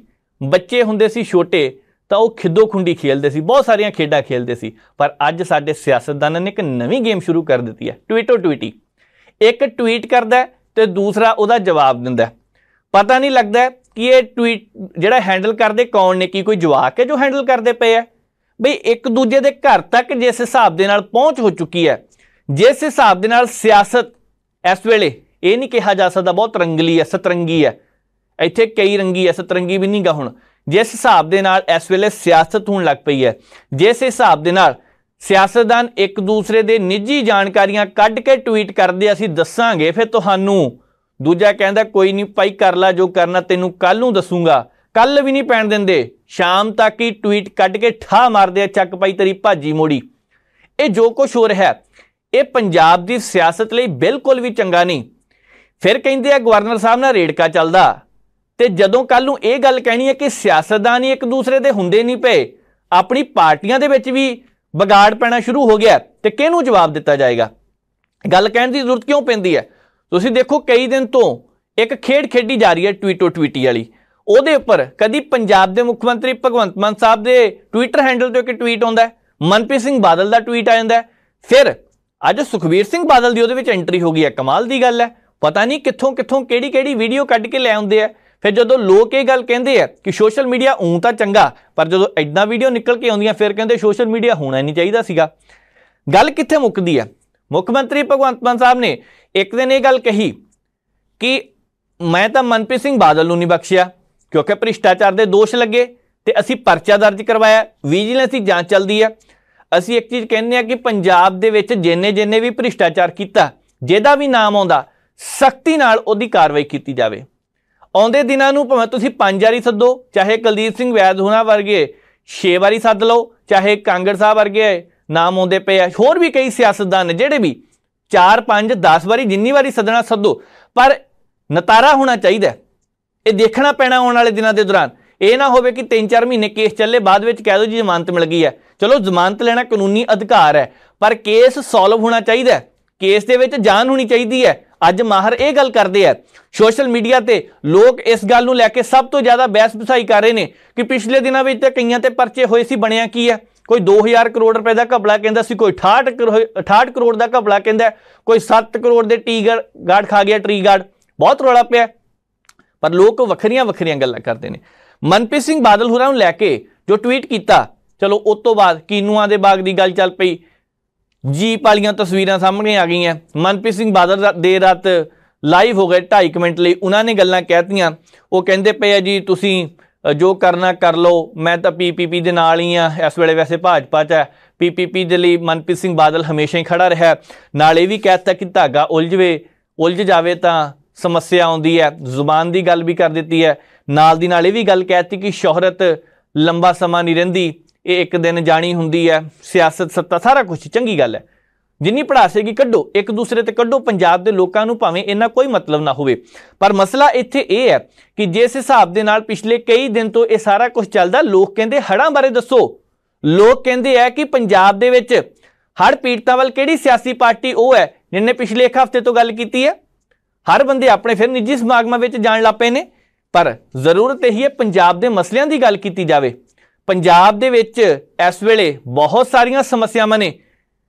ਅਸੀਂ ਕੈਂਸਰ ਦੀ ਗੱਲ ਕੀਤੀ, ਅਸੀਂ ਪਾਣੀ ਦੀ ਗੱਲ ਕੀਤੀ, ਬਿਜਲੀ ਦੀ ਗੱਲ ਕੀਤੀ, ਬਹੁਤ ਮਾਈਨਿੰਗ ਦੀ ਗੱਲ ਕੀਤੀ ਹੈ, ਅਜੇ ਵੀ ਚੱਲਦੀ ਹੈ, ਰੌਲਾ ਪੈਂਦਾ ਰਹਿੰਦਾ ਹੈ। ਤੇ ਉਹਦੇ ਖਿਲਾਫ ਕਦੀ ਕੋਈ ਗੱਲ ਹੋਈ ਨਹੀਂ। ਲੋਕ ਉਸ ਨਜ਼ਰੀਏ ਤੋਂ ਵੀ ਦੇਖ ਰਹੇ ਆ ਆ ਇੱਕ ਦੂਸਰੇ ਦੇ ਉੱਪਰ ਦੋਸ਼ ਲਗਾ ਕੇ ਖਾਨਾ ਪੂਰਤੀ ਕਰਨ ਦਾ ਜੋ ਕੰਮ ਕੀਤਾ ਜਾ ਰਿਹਾ ਇਹ ਰੁਕਣਾ ਚਾਹੀਦਾ ਕੋਈ ਹੋਵੇ, ਸਰਕਾਰ ਦਾ ਕੋਈ ਮੰਤਰੀ ਹੋਵੇ, ਵਿਧਾਇਕ ਹੋਵੇ, ਸਾਬਕਾ ਮੰਤਰੀ ਹੋਵੇ, ਸਾਬਕਾ ਵਿਧਾਇਕ ਕਿਉਂ ਨਾ ਹੋਵੇ ਹਲਕਾ ਜਿਹਾ ਹਲਕਾ ਪ੍ਰਧਾਨ ਕਿਉਂ ਨਾ ਹੋਵੇ, ਕਿਸੇ ਵੀ ਇਲਾਕੇ ਦਾ, ਪਰ ਮਸਲਾ ਭਾਵੇਂ ਸਾਬਕਾ ਹਲਕਾ ਪ੍ਰਧਾਨ ਹੀ ਹੋਵੇ। ਮਸਲਾ ਇਹ ਹੈ ਕਿ ਇਸ ਵੇਲੇ ਪੰਜਾਬ ਦੇ ਲੋਕਾਂ ਨੂੰ ਇਕੱਠੇ ਹੋਣ ਦੀ ਜ਼ਰੂਰਤ ਹੈ, ਕਿਉਂਕਿ ਜਿਸ ਹਿਸਾਬ ਦੇ ਨਾਲ ਬਹੁਤ ਸਾਰੀਆਂ ਸਮੱਸਿਆਵਾਂ 'ਚ ਪੰਜਾਬ ਘਿਰਦਾ ਜਾ ਰਿਹਾ ਹੈ, ਜਿਸ ਹਿਸਾਬ ਦੇ ਨਾਲ ਕਰਜ਼ੇ ਦੀ ਕਿਸੇ ਨੇ ਗੱਲ ਕੀਤੀ ਹੈ, ਪਾਣੀ ਧਰਤੀ ਦਾ ਹੇਠਾਂ ਵੱਲ ਜਾ ਰਿਹਾ, ਕਿਸੇ ਨੇ ਗੱਲ ਕੀਤੀ, ਫਸਲ ਬਰਬਾਦ ਹੋ ਗਈ, ਉਹਨਾਂ ਕਿਸਾਨਾਂ ਦੀ, ਜਿਨ੍ਹਾਂ ਦੀ ਪਾਣੀ ਦੇ ਵਿੱਚ ਫਸਲ ਵਹਿ ਗਈ, ਸੁਪਨੇ ਅਰਮਾਨ ਸਾਰੇ ਨਾਲ ਬਹਿ ਗਏ, ਕਿਸੇ ਨੇ ਗੱਲ ਕੀਤੀ ਹੈ। 8 ਏਕੜ ਇੱਕ ਪਿੰਡ ਨੇ ਐਲਾਨ ਕੀਤਾ ਕਿ ਅਸੀਂ ਪਨੀਰੀ ਲਗਾਵਾਂਗੇ। ਲਗਾਈ ਵੀ ਹੈ, ਸੋਸ਼ਲ ਮੀਡੀਆ ਤੇ ਚਰਚਾ ਵੀ ਹੋਈ ਹੈ। ਲੋਕ ਸਾਥ ਵੀ ਦਿੰਦੇ ਆ, ਕਹਿੰਦੇ ਤੁਹਾਡੇ ਨਾਲ ਭਰਾਵੋ, ਅਸੀਂ ਮੋਢੇ ਨਾਲ ਮੋਢਾ ਜੋੜ ਕੇ ਖੜੇ ਆ ਪਰ ਕੀ ਕਿਸੇ ਸਰਕਾਰੀ ਪਾਸਿਓਂ ਇਹ ਖਬਰ ਆਈ ਹੈ? ਇੱਥੇ ਤੱਕ ਕਹਿੰਦੇ ਜੀ ਵਿਧਾਇਕਾਂ ਦੀਆਂ ਸ਼ਿਕਾਇਤਾਂ ਹੀ ਸੁਣਨੀਆਂ ਸੀ। ਫਿਰ ਕਹਿੰਦੇ ਜੀ ਵਿਧਾਇਕਾਂ ਦੇ ਖਿਲਾਫ ਜਾਂਚ ਕਰਵਾਈ ਜਾ ਰਹੀ ਹੈ। ਫਿਰ ਕਹਿੰਦੇ ਆ ਜੀ 4-5 ਦੀਆਂ ਰਿਪੋਰਟਾਂ ਮਿਲ ਗਈਆਂ। ਫਿਰ ਕਹਿੰਦੇ ਆ ਜੀ ਇੱਕ ਸ਼੍ਰੋਮਣੀ ਅਕਾਲੀ ਦਲ ਦਾ ਅਧਿਕਾਰੀ ਆਮ ਆਦਮੀ ਪਾਰਟੀ 'ਚ ਜਾਣ ਦੀ ਤਿਆਰੀ ਕਰੀ ਬੈਠਾ ਜੋ ਕੁਝ ਮਰਜ਼ੀ ਹੋਵੇ, ਪਰ ਗੱਲ ਨਿੱਜਤਾ ਵੱਲ ਨਹੀਂ ਜਾਣੀ ਚਾਹੀਦੀ ਸੀ। ਸੁਖਬੀਰ ਸਿੰਘ ਬਾਦਲ ਹੋਰਾਂ ਦੇ ਪਰਿਵਾਰਕ ਮੈਂਬਰਾਂ ਨਾਲ ਇੱਕ ਪੁਰਾਣੀ ਤਸਵੀਰ ਸੋਸ਼ਲ ਮੀਡੀਆ ਤੇ ਵਾਇਰਲ ਹੋਈ। ਹੁਣ ਉਸ ਵੀ- ਤਸਵੀਰ ਵਾਇਰਲ ਹੋਣ ਤੋਂ ਬਾਅਦ, ਕਿਉਂਕਿ ਹੋਲੀ ਦਾ ਦਿਨ ਸੀਗਾ, ਉਸ ਤੋਂ ਬਾਅਦ ਜਿਹੜੀ ਵੀਡੀਓ ਜਾਰੀ ਕੀਤੀ ਗਈ ਹੈ ਤੇ ਕੀ ਉਸ ਵੀਡੀਓ ਦੇ ਵਿੱਚ ਦੇਖ ਕੇ ਲੋਕ ਕੱਲ ਨੂੰ ਉਸ ਵੀਡੀਓ ਦਾ ਮਜ਼ਾਕ ਨਹੀਂ ਉਡਾਉਣਗੇ? ਲੋਕ ਮਜ਼ਾਕ ਉਡਾਉਣਗੇ, ਪਰ ਇਹ ਸਾਰਾ ਕੁਝ ਕਿਉਂ ਹੋ ਰਿਹਾ? ਸਿਰਫ ਇਸ ਕਰਕੇ ਕਿ ਇਹ ਕੋਈ ਬੱਚਾ ਤਾਂ ਨਹੀਂ ਗਾ ਜੋ ਸੋਸ਼ਲ ਮੀਡੀਆ ਦਾ ਕੋਈ ਪੇਜ ਹੈਂਡਲ ਕਰ ਰਿਹਾ? ਜ਼ਰੂਰਤ ਤਾਂ ਧਿਆਨ ਦੇਣ ਦੀ ਕਿ ਪੰਜਾਬ ਦੇ ਲੋਕ ਵੀ ਸੋਚਣਗੇ ਕਿ ਅਸੀਂ ਬੋਲੀਏ ਤਾਂ ਵੀ ਕੀ ਬੋਲੀਏ? ਕਮੈਂਟ ਕਰੀਏ ਤਾਂ ਕੀ ਕਰੀਏ? ਪਰ ਸਿਆਸਤ ਹੈ, ਸਿਆਸਤ ਦੇ ਵਿੱਚ ਭਾਵੇਂ ਸਾਰਾ ਕੁਝ ਚੱਲਦਾ ਪਰ ਇੰਨਾ ਜ਼ਰੂਰ ਹੈ ਕਿ ਲੋਕਾਂ ਦੇ ਮੁੱਦਿਆਂ ਵੱਲ ਧਿਆਨ ਦੇਣ ਦੀ ਜ਼ਰੂਰਤ ਹੈ। ਜਦੋਂ ਲੋਕਾਂ ਦੇ ਮੁੱਦਿਆਂ ਦੇ ਧਿਆਨ ਦੀ ਗੱਲ ਕੀਤੀ ਹੈ, ਤਾਂ ਇੱਕ ਗੱਲ ਸਰਕਾਰ ਨੇ ਅੱਜ ਚੰਗੀ ਕੀਤੀ ਹੈ, ਜਿਹਦੀ ਤਾਰੀਫ ਕਰਨੀ ਵੀ ਬਣਦੀ ਹੈ। ਪਿਛਲੇ ਦਿਨੀ ਪੰਜਾਬ ਦੇ ਮੁੱਖ ਮੰਤਰੀ ਭਗਵੰਤ ਮਾਨ ਸਾਹਿਬ ਨੇ ਇਹ ਗੱਲ ਕੀਤੀ। ਉਹ ਕਹਿੰਦੇ ਕਿ ਸੜਕ ਹਾਦਸੇ ਬਹੁਤ ਵੱਧਦੇ ਜਾ ਰਹੇ ਨੇ। ਹਰ, ਮ- ਦਿਨ ਦੇ ਵਿੱਚ 14 ਮੌਤਾਂ ਹੁੰਦੀਆਂ। ਲਗਭਗ 14 ਮੌਤਾਂ। ਪਹਿਲਾਂ 12 ਸੀਗੀਆਂ, ਪਰ ਹੁਣ ਉਹ ਐਵਰੇਜ ਵੀ ਵੱਧ ਗਈ ਆ। 14 ਮੌਤਾਂ ਇੱਕ ਦਿਨ ਦੇ ਵਿੱਚ ਹੋ ਜਾਣੀਆਂ। ਆਪਣੇ ਆਪ ਦੇ ਵਿੱਚ ਇਹ ਬਹੁਤ ਵੱਡਾ ਅੰਕੜ ਹੈ। ਤੇ ਹੁਣ ਸਰਕਾਰ ਇਸ ਨੂੰ ਕੰਟਰੋਲ ਕਰਨ ਲਈ ਉਹਨਾਂ ਨੇ ਕੁਝ ਨਵੇਂ ਐਲਾਨ ਕੀਤੇ ਆ। ਇਹ ਐਲਾਨ ਚੰਗੇ ਇਸ ਕਰਕੇ ਹੈ ਕਿਉਂਕਿ ਜੇਕਰ ਇਹ ਐਲਾਨ ਨਾ ਕਰਦੇ ਤਾਂ ਫਿਰ ਆਉਂਦੇ ਦਿਨਾਂ ਨੂੰ ਹੋ ਸਕਦਾ ਹੈ ਕਿ ਸੜਕ ਹਾਦਸੇ ਇਸੇ ਤਰ੍ਹਾਂ ਵਧਦੇ। ਹਾਲਾਂਕਿ ਅਸੀਂ ਇਹ ਨਹੀਂ ਕਹਿੰਦੇ ਕਿ ਜੇ ਇਹ, ਜਿਹੜੇ ਇਹ ਐਲਾਨ ਕੀਤੇ ਆ, ਅਗਲੇ ਦਿਨ ਹੀ ਫ਼ਰਕ ਪੈ ਜਾਣਾ। ਥੋੜੀ ਜਿਹੀ ਮਦਦ ਮਿਲ ਸਕਦੀ ਹੈ। ਸਰਕਾਰੀ ਤੌਰ ਦੇ ਉੱਪਰ ਜਦੋਂ ਹਸਪਤਾਲ ਦੇ ਵਿੱਚ ਕਿਸੇ ਮਰੀਜ਼ ਨੂੰ ਪਹੁੰਚਾਉਣ ਦੀ ਜ਼ਿੰਮੇਵਾਰੀ ਹੁੰਦੀ ਹੈ, ਤਾਂ ਉੱਥੇ ਕਦੀ-ਕਦੀ ਐਂਬੂਲੈਂਸ ਲੇਟ ਹੋ ਜਾਂਦੀ ਹੈ। ਕਦੀ-ਕਦੀ ਇਸੇ ਕਰਕੇ ਕੋਈ ਹੱਥ ਨਹੀਂ ਪਾਉਂਦਾ ਕਿ ਸਾਨੂੰ ਕੋਈ ਪੁਲਿਸ ਵਾਲਾ ਨਾ ਫੜ ਲੇ। ਕਦੀ-ਕਦੀ ਇਸੇ ਕਰਕੇ ਕੋਈ ਹੱਥ ਨਹੀਂ ਪਾਉਂਦਾ ਕਿ ਜੇਕਰ ਹਸਪਤਾਲ ਲੈ ਗਏ, ਜੇਕਰ ਉਹ ਬੰਦਾ ਰੱਬ ਨਾ ਕਰੇ, ਉਹਦੀ ਮੌਤ ਹੋ ਗਈ, ਤਾਂ ਫਿਰ ਜਾਂਚ ਪੜਤਾਲ ਤਾਂ ਸਾਡੇ ਕੋਲ ਹੀ ਹੋਣੀ ਹੈ। ਹੁਣ ਪੰਜਾਬ ਦੇ ਮੁੱਖ ਮੰਤਰੀ ਸਾਹਿਬ ਨੇ ਪਿਛਲੇ ਦਿਨੀ ਕਿਹਾ ਸੀ ਕਿ ਸੜਕ ਸੁਰੱਖਿਆ ਫੋਰਸ ਤਾਇਨਾਤ ਕੀਤੀ ਜਾਵੇਗੀ। ਅੱਜ ਉਹਨਾਂ ਨੇ ਰਸਮੀ ਤੌਰ ਤੇ ਇਸ ਚੀਜ਼ ਦਾ ਐਲਾਨ ਕਰ ਦਿੱਤਾ ਅੱਜ ਪੰਜਾਬ ਪੁਲਿਸ ਨੂੰ ਹਾਈਟੈਕ ਨਵੀਆਂ ਗੱਡੀਆਂ ਦੇ ਦਿੱਤੀਆਂ ਗਈਆਂ। ਹੁਣ ਇਹਨਾਂ ਹੋਣਾ ਕੀ ਹੈ? ਵੈਸੇ ਇਹਨਾਂ ਗੱਡੀਆਂ ਤੋਂ ਉਹਨਾਂ ਨੇ ਆਪ ਵੀ ਮੁਆਇਨਾ ਕੀਤਾ, ਇਹਨਾਂ ਹੋਣਾ ਕੀ ਹੈ? ਕਿ ਪਿਛਲੇ ਦਿਨਾਂ ਦੇ ਦੌਰਾਨ ਜਦੋਂ ਲੋਕਾਂ ਦੀਆਂ ਮੌਤਾਂ ਹੋਈਆਂ, ਉਹਨਾਂ ਨੂੰ ਹਸਪਤਾਲ ਲੈ ਕੇ ਜਾਣ ਵਾਲਾ ਕੋਈ ਨਹੀਂ ਸੀਗਾ, ਇਹ ਗੱਡੀਆਂ ਲੈ ਕੇ ਜਾਣਗੀਆਂ। 1500 ਤੋਂ ਵੱਧ ਇਸ ਤਰ੍ਹਾਂ ਦੀਆਂ ਗੱਡੀਆਂ ਆਉਣ ਵਾਲੇ ਸਮੇਂ 'ਚ ਲਿਆਉਣ ਦੀ ਤਿਆਰੀ ਕੀਤੀ ਜਾ ਰਹੀ ਹੈ। ਵੈਸੇ 129 ਹਾਈਟੈਕ ਗੱਡੀਆਂ ਹੁਣ ਦੇ ਦਿੱਤੀਆਂ ਗਈਆਂ। ਗੱਡੀਆਂ ਦੇ ਨਾਲ ਐਂਬੂਲੈਂਸ ਤੇ ਰਿਕਵਰੀ ਵੈਨ ਵੀ ਹੋਣੀ ਆ। ਇੱਥੋਂ ਅੰਦਾਜ਼ਾ ਲਗਾਇਆ ਜਾ ਸਕਦਾ ਕਿ ਇਹ ਸ਼ੁਰੂਆਤ ਚੰਗੀ ਹੈ ਤੁਹਾਨੂੰ ਯਾਦ ਹੋਣਾ ਪਿਛਲੇ ਦਿਨੀ ਇੱਕ ਹੋਰ ਮੰਤਰੀ ਸਾਹਿਬ ਦਾ ਬਿਆਨ ਸਾਹਮਣੇ ਆਇਆ ਸੀ ਕਿ ਜੇਕਰ ਕੋਈ ਮਰੀਜ਼ ਨੂੰ ਜਾਂ ਪੀੜਤ ਨੂੰ ਹਸਪਤਾਲ ਪਹੁੰਚਾਉਂਦਾ ਜਿਹੜਾ ਹਾਦਸੇ ਦਾ ਸ਼ਿਕਾਰ ਹੋਇਆ, ਉਹਨੂੰ 5000 ਰੁਪਇਆ ਦੇਣਾ। ਅਸੀਂ ਉਦੋਂ ਵੀ ਜ਼ਿਕਰ ਕੀਤਾ ਸੀ। ਠੀਕ ਆ, ਉਹਨੂੰ ਸਨਮਾਨ ਦੇ ਤੌਰ ਤੇ 5000 ਰੁਪਇਆ ਦੇਣਾ ਚਾਹੀਦਾ ਪਰ ਵੱਡੀ ਜ਼ਰੂਰਤ ਇਹ ਹੈ ਕਿ ਜਿਹੜੇ ਹਾਦਸੇ ਇਹ ਹੋ ਰਹੇ ਨੇ, ਜਿਹਦੇ ਕਰਕੇ ਹੋ ਰਹੇ ਨੇ, ਉਹਨਾਂ ਕਾਰਨਾਂ ਨੂੰ ਲੱਭਣ ਦੀ ਜ਼ਰੂਰਤ ਹੈ।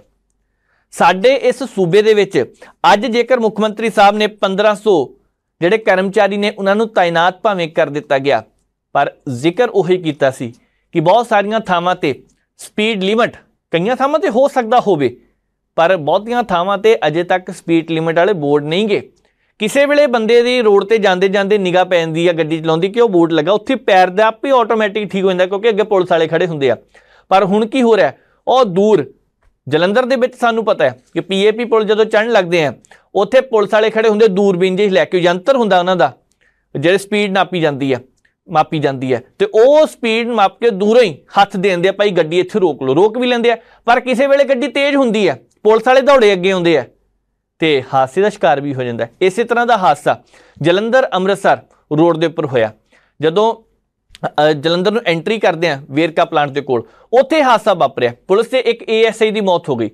ਪਰ ਸਵਾਲ ਇਹ ਉੱਠਦਾ ਹੈ ਕਿ ਜੇਕਰ ਸਪੀਡ ਲਿਮਟ ਲਗਾ ਦਿੱਤੀ ਜਾਵੇ ਤਾਂ ਹੋ ਸਕਦਾ ਆਪਣੇ ਆਪ ਹੀ ਪੈਰ ਥੋੜਾ ਜਿਹਾ ਬ੍ਰੇਕ ਤੇ ਲੱਗ ਜਵੇ। ਥੋੜੀ ਜਿਹੀ ਸਪੀਡ ਤੋਂ ਪੈਰ ਚੱਕ ਹੋ ਜਵੇ, ਤਾਂ ਬੰਦੇ ਆਪ ਹੀ ਘੱਟ ਕਰ ਸਕਦੇ ਆ। ਕਾਰਨ ਹੋਰ ਵੀ ਬਹੁਤ ਸਾਰੇ ਆ, ਜਿਨ੍ਹਾਂ ਨੂੰ ਇਸ ਵੇਲੇ ਲੱਭਣ ਦੀ ਜ਼ਰੂਰਤ ਹੈ। ਸਿਰਫ ਚਲਾਨ ਮਹਿੰਗੇ ਕੱਟਣ ਦੇ ਨਾਲ ਨਹੀਂ ਗੱਲ ਬਣਨੀ। ਸਿਰਫ ਅੱਗੇ ਦੌੜ ਕੇ ਆ ਕੇ ਕੁਝ ਕੁ ਮੁਲਾਜ਼ਮ ਜਿਹਦਾ ਚਾਬੀ ਕੱਢ ਲੈਂਦੇ ਆ ਐਦਾਂ ਗੱਲ ਨਹੀਂ ਬਣਨੀ। ਪੰਜਾਬ ਦੇ ਵਿੱਚ ਟ੍ਰੈਫਿਕ ਰੂਲ ਕਿੰਨਿਆਂ ਕੁ ਨੂੰ ਪਤਾ? ਕਿੰਨਿਆਂ ਕੁ ਨੂੰ ਪਤਾ ਹੈ ਕਿ ਗੱਡੀ ਕਿੱਥੇ ਰੋਕਣੀ ਹੈ?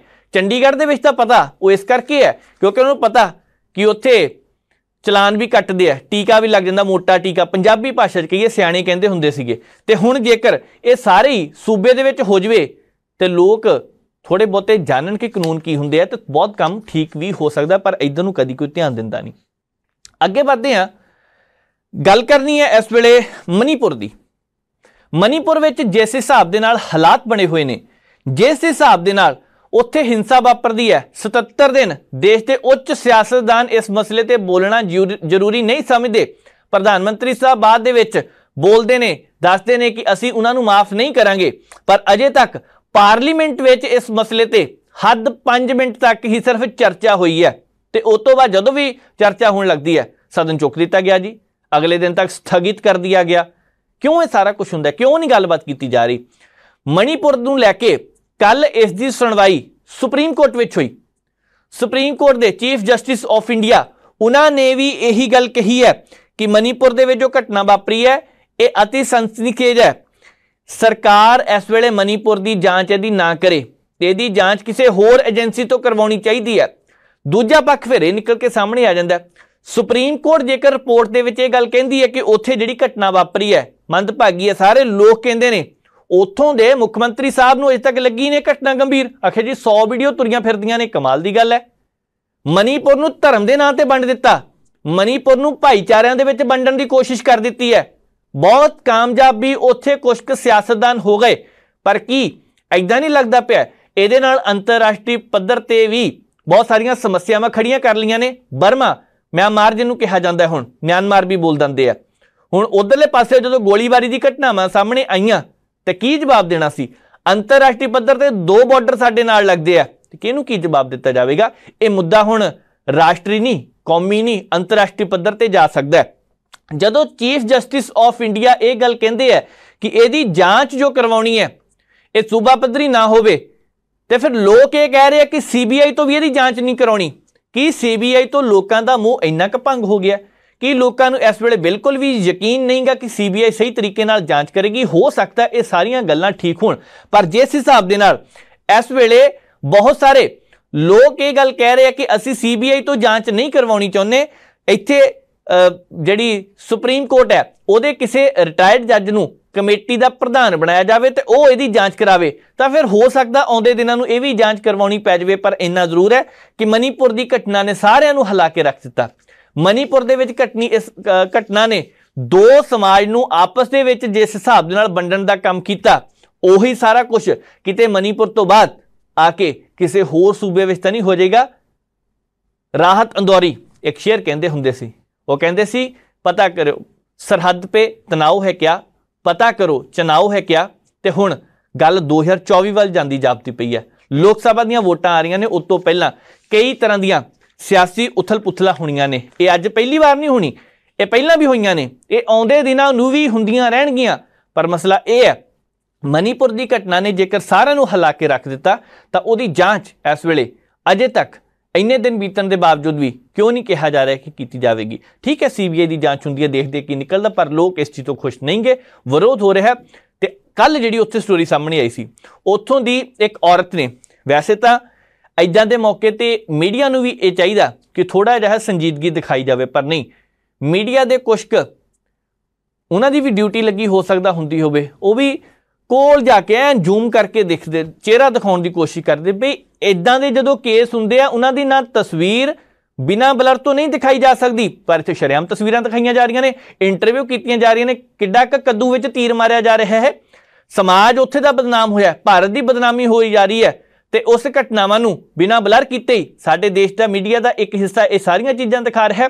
ਸ਼ਰਮਨਾਕ ਕਰ ਰਿਹਾ ਕੱਲ ਨੂੰ ਇਹਦਾ ਵਿਰੋਧ ਵੀ ਹੋ ਸਕਦਾ ਪਰ ਅਸਲ ਦੇ ਵਿੱਚ ਜੋ ਇੱਥੇ ਵਾਪਰੀਆਂ ਕਹਾਣੀਆਂ ਹੁਣ ਚਟਕਾਰੇ ਲੈ ਕੇ ਨਾ ਪੇਸ਼ ਕੀਤੀਆਂ ਜਾਣ ਕਿ ਲੋਕ ਉਹਨਾਂ ਉਹਨਾਂ ਦੇ ਵੱਖ-ਵੱਖ ਤਰ੍ਹਾਂ ਦੇ ਥੰਬਨੇਲ ਲਗਾ ਕੇ ਇਹ ਨਾ ਦਿਖਾਇਆ ਜਾਵੇ ਕਿ ਉੱਥੇ ਸਾਰਾ ਕੁਝ ਕੀ ਹੋ ਰਿਹਾ ਸਭ ਨੂੰ ਪਤਾ ਕੀ ਹੋਇਆ ਇੱਕ ਘਟਨਾ ਨੇ ਸਾਰਿਆਂ ਦੀਆਂ ਅੱਖਾਂ ਖੋਲ ਕੇ ਰੱਖ ਦਿੱਤੀਆਂ ਸੀਗੀਆਂ।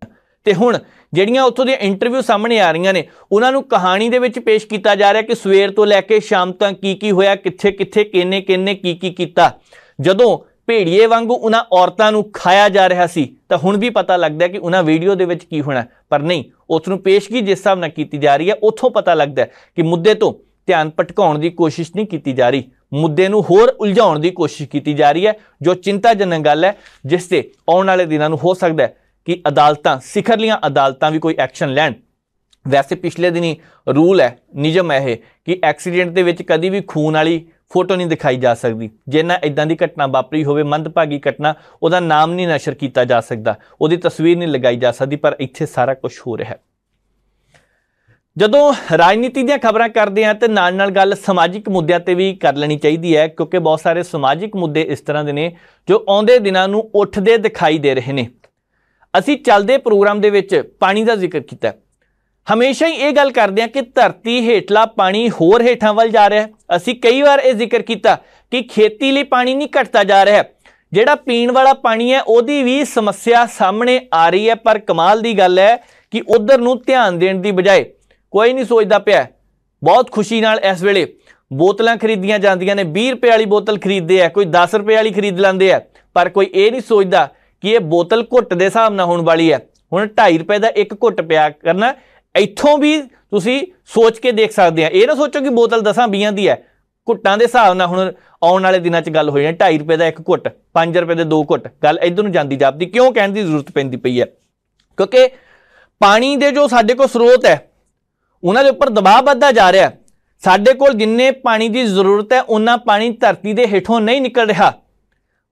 ਬਲੈਕ ਜ਼ੋਨ ਦੇ ਵਿੱਚ ਪਾਤਾ ਤੇ ਇਸ ਡੇਂਜਰ ਜ਼ੋਨ ਦੇ ਵਿੱਚ ਜੋ ਇਲਾਕਾ ਪੰਜਾਬ ਦਾ ਵੀ ਪਿਆ ਕਿੰਨੇ ਕੀ ਕੀਤਾ? ਆ ਲੀਡਰ ਕਹਿੰਦੇ ਇੱਕ ਦੂਜੇ ਦੀਆਂ ਤਸਵੀਰਾਂ ਖਿੱਚਦੇ ਧਰਤੀ ਦਾ ਪਾਣੀ ਵੀ ਤਾਂ ਉਹਨੂੰ ਖਿੱਚ ਲਓ, ਕੀ ਪਤਾ ਹੁੰਦਾ ਉੱਪਰ ਹੀ ਆ ਜਾਵੇ। ਹੁਣ ਅਮਰੀਕਾ ਦੀ ਉਦਾਹਰਨ ਦਿੰਦੇ ਆ, ਕੈਲੀਫੋਰਨੀਆ ਦੇ ਵਿੱਚ ਇੱਕ ਕੰਪਨੀ ਹੈ, ਉਹਨੂੰ ਕਿਹਾ ਸੀ ਕਿ 2 ਕਰੋੜ 30 ਲੱਖ ਗੈਲਨ ਪਾਣੀ ਧਰਤੀ ਦੇ ਹੇਠੋਂ ਸਿਰਫ ਕੱਢਣਾ। ਪਰ ਉਸ ਕੰਪਨੀ ਨੇ 6 ਕਰੋੜ ਗੈਲਨ ਧਰਤੀ ਦੇ ਹੇਠੋਂ ਪਾਣੀ ਕੱਢ ਲਿਆ ਹੁਣ ਤੱਕ। ਕੈਲੀਫੋਰਨੀਆ ਤੇ ਖਬਰ ਹੈ। ਫਿਰ ਉਸ ਕੰਪਨੀ ਨੂੰ ਇੱਕ ਉਸ ਕੰਪਨੀ ਨੇ ਕਿਸੇ ਵੇਲੇ ਇਹ ਗੱਲ ਕਹੀ ਸੀ ਕਿ ਪਾਣੀ ਜਿਹੜਾ ਆਉਣ ਵਾਲੇ ਦਿਨਾਂ ਦੇ ਦੌਰਾਨ ਖਤਮ ਹੋਣਾ, ਇਹਨੂੰ ਮਨੁੱਖੀ ਹੱਕ ਗਰਦਾਨਿਆ ਜਾਣਾ ਚਾਹੀਦਾ ਤੇ ਅੱਜ ਉਹ ਕੰਪਨੀ ਆਪ ਹੀ ਇੰਨਾ ਪਾਣੀ ਕੱਢ ਰਹੀ ਹੈ। ਇਸ ਤਰ੍ਹਾਂ ਦੀਆਂ ਕਿੰਨੀਆਂ ਹੋਰ ਕੰਪਨੀਆਂ ਹੋਣਗੀਆਂ। ਸ਼ਾਇਦ ਬਹੁਤ ਘੱਟ ਲੋਕਾਂ ਨੂੰ ਪਤਾ ਹੋਵੇ ਕਿ ਜਿਹੜੇ ਵੀ ਲੋਕ ਕੋਲਡ ਡਰਿੰਕ ਦਾ ਸ਼ੌਕੀਨ ਰੱਖਦੇ ਆ 1 ਲੀਟਰ ਕੋਲਡ ਡਰਿੰਕ ਬਣਾਉਣ ਦੇ ਲਈ 3 ਲੀਟਰ ਪਾਣੀ ਖਰਾਬ ਹੁੰਦਾ। ਤੇ ਹੁਣ ਜਿਸ ਹਿਸਾਬ ਦੇ ਨਾਲ ਇਹ ਜਾਣਕਾਰੀਆਂ ਸਾਹਮਣੇ ਆ ਰਹੀਆਂ ਨੇ ਤੇ ਬਹੁਤ ਸਾਰੇ ਲੋਕ ਨੇ ਜੋ ਕੋਲਡ ਡਰਿੰਕ ਨੇ, ਸ਼ਕੀਨ ਨੇ, ਤੇ ਕਿੰਨਾ ਪਾਣੀ ਖਰਾਬ ਹੁੰਦਾ ਹੋਵੇ, ਇੱਕ ਰਿਪੋਰਟ ਅੱਜ ਸਾਹਮਣੇ ਆਈ ਹੈ। ਜੇਕਰ ਇਹ ਰਿਪੋਰਟ ਬਿਲਕੁਲ ਠੀਕ ਹੈ, ਤਾਂ ਫਿਰ ਇਹਦੇ ਹਿਸਾਬ ਨਾਲ ਤਾਂ ਪਾਣੀ ਬਹੁਤ ਜ਼ਿਆਦਾ ਖਰਾਬ ਹੋ ਰਿਹਾ, ਬਰਬਾਦ ਹੋ ਰਿਹਾ ਇੱਥੇ ਫਸਲਾਂ ਦੀ ਗੱਲ ਕਰਦੇ ਅਸੀਂ, ਝੋਨੇ ਦੀ ਗੱਲ ਕਰਦੇ ਪੰਜਾਬ ਨੂੰ ਇਹ ਗੱਲ ਕਹੀ ਜਾਂਦੀ ਹੈ ਕਿ 15 ਤੋਂ 20 ਸ਼ਾਇਦ ਬਹੁਤ ਜ਼ਿਆਦਾ ਗਿਣਤੀ ਹੋਵੇ ਤਾਂ 25 ਹੱਦ 30% ਲੋਕ ਝੋਨਾ ਜਿਹੜੇ ਚੌਲ ਖਾਂਦੇ ਹੋਣਗੇ, ਪਰ ਝੋਨੇ ਦੀ ਖੇਤੀ ਕਰਦੇ ਆ। ਪਰ ਹੁਣ ਜਦੋਂ ਆ ਕੋਲਡ ਡਰਿੰਕ ਦੀ ਗੱਲ ਆਉਂਦੀ ਹੈ, ਤਾਂ ਬਹੁਤ ਸਾਰੇ ਲੋਕ ਪੀਂਦੇ ਆ, ਤੇ ਫਿਰ ਕਿੰਨੇ ਲੀਟਰ ਪਾਣੀ ਬਰਬਾਦ ਹੋ ਰਿਹਾ? ਗੱਲ ਇੱਥੇ ਨਹੀਂ ਮੁੱਕਦੀ। ਇਸ ਵੇਲੇ ਪਾਣੀ ਦੀ ਇਹ ਸਮੱਸਿਆ ਪੰਜਾਬ, ਭਾਰਤ ਤੋਂ ਇਲਾਵਾ ਵਿਸ਼ਵ ਦੇ ਕਈ ਦੇਸ਼ਾਂ ਵਿੱਚ ਹੈ।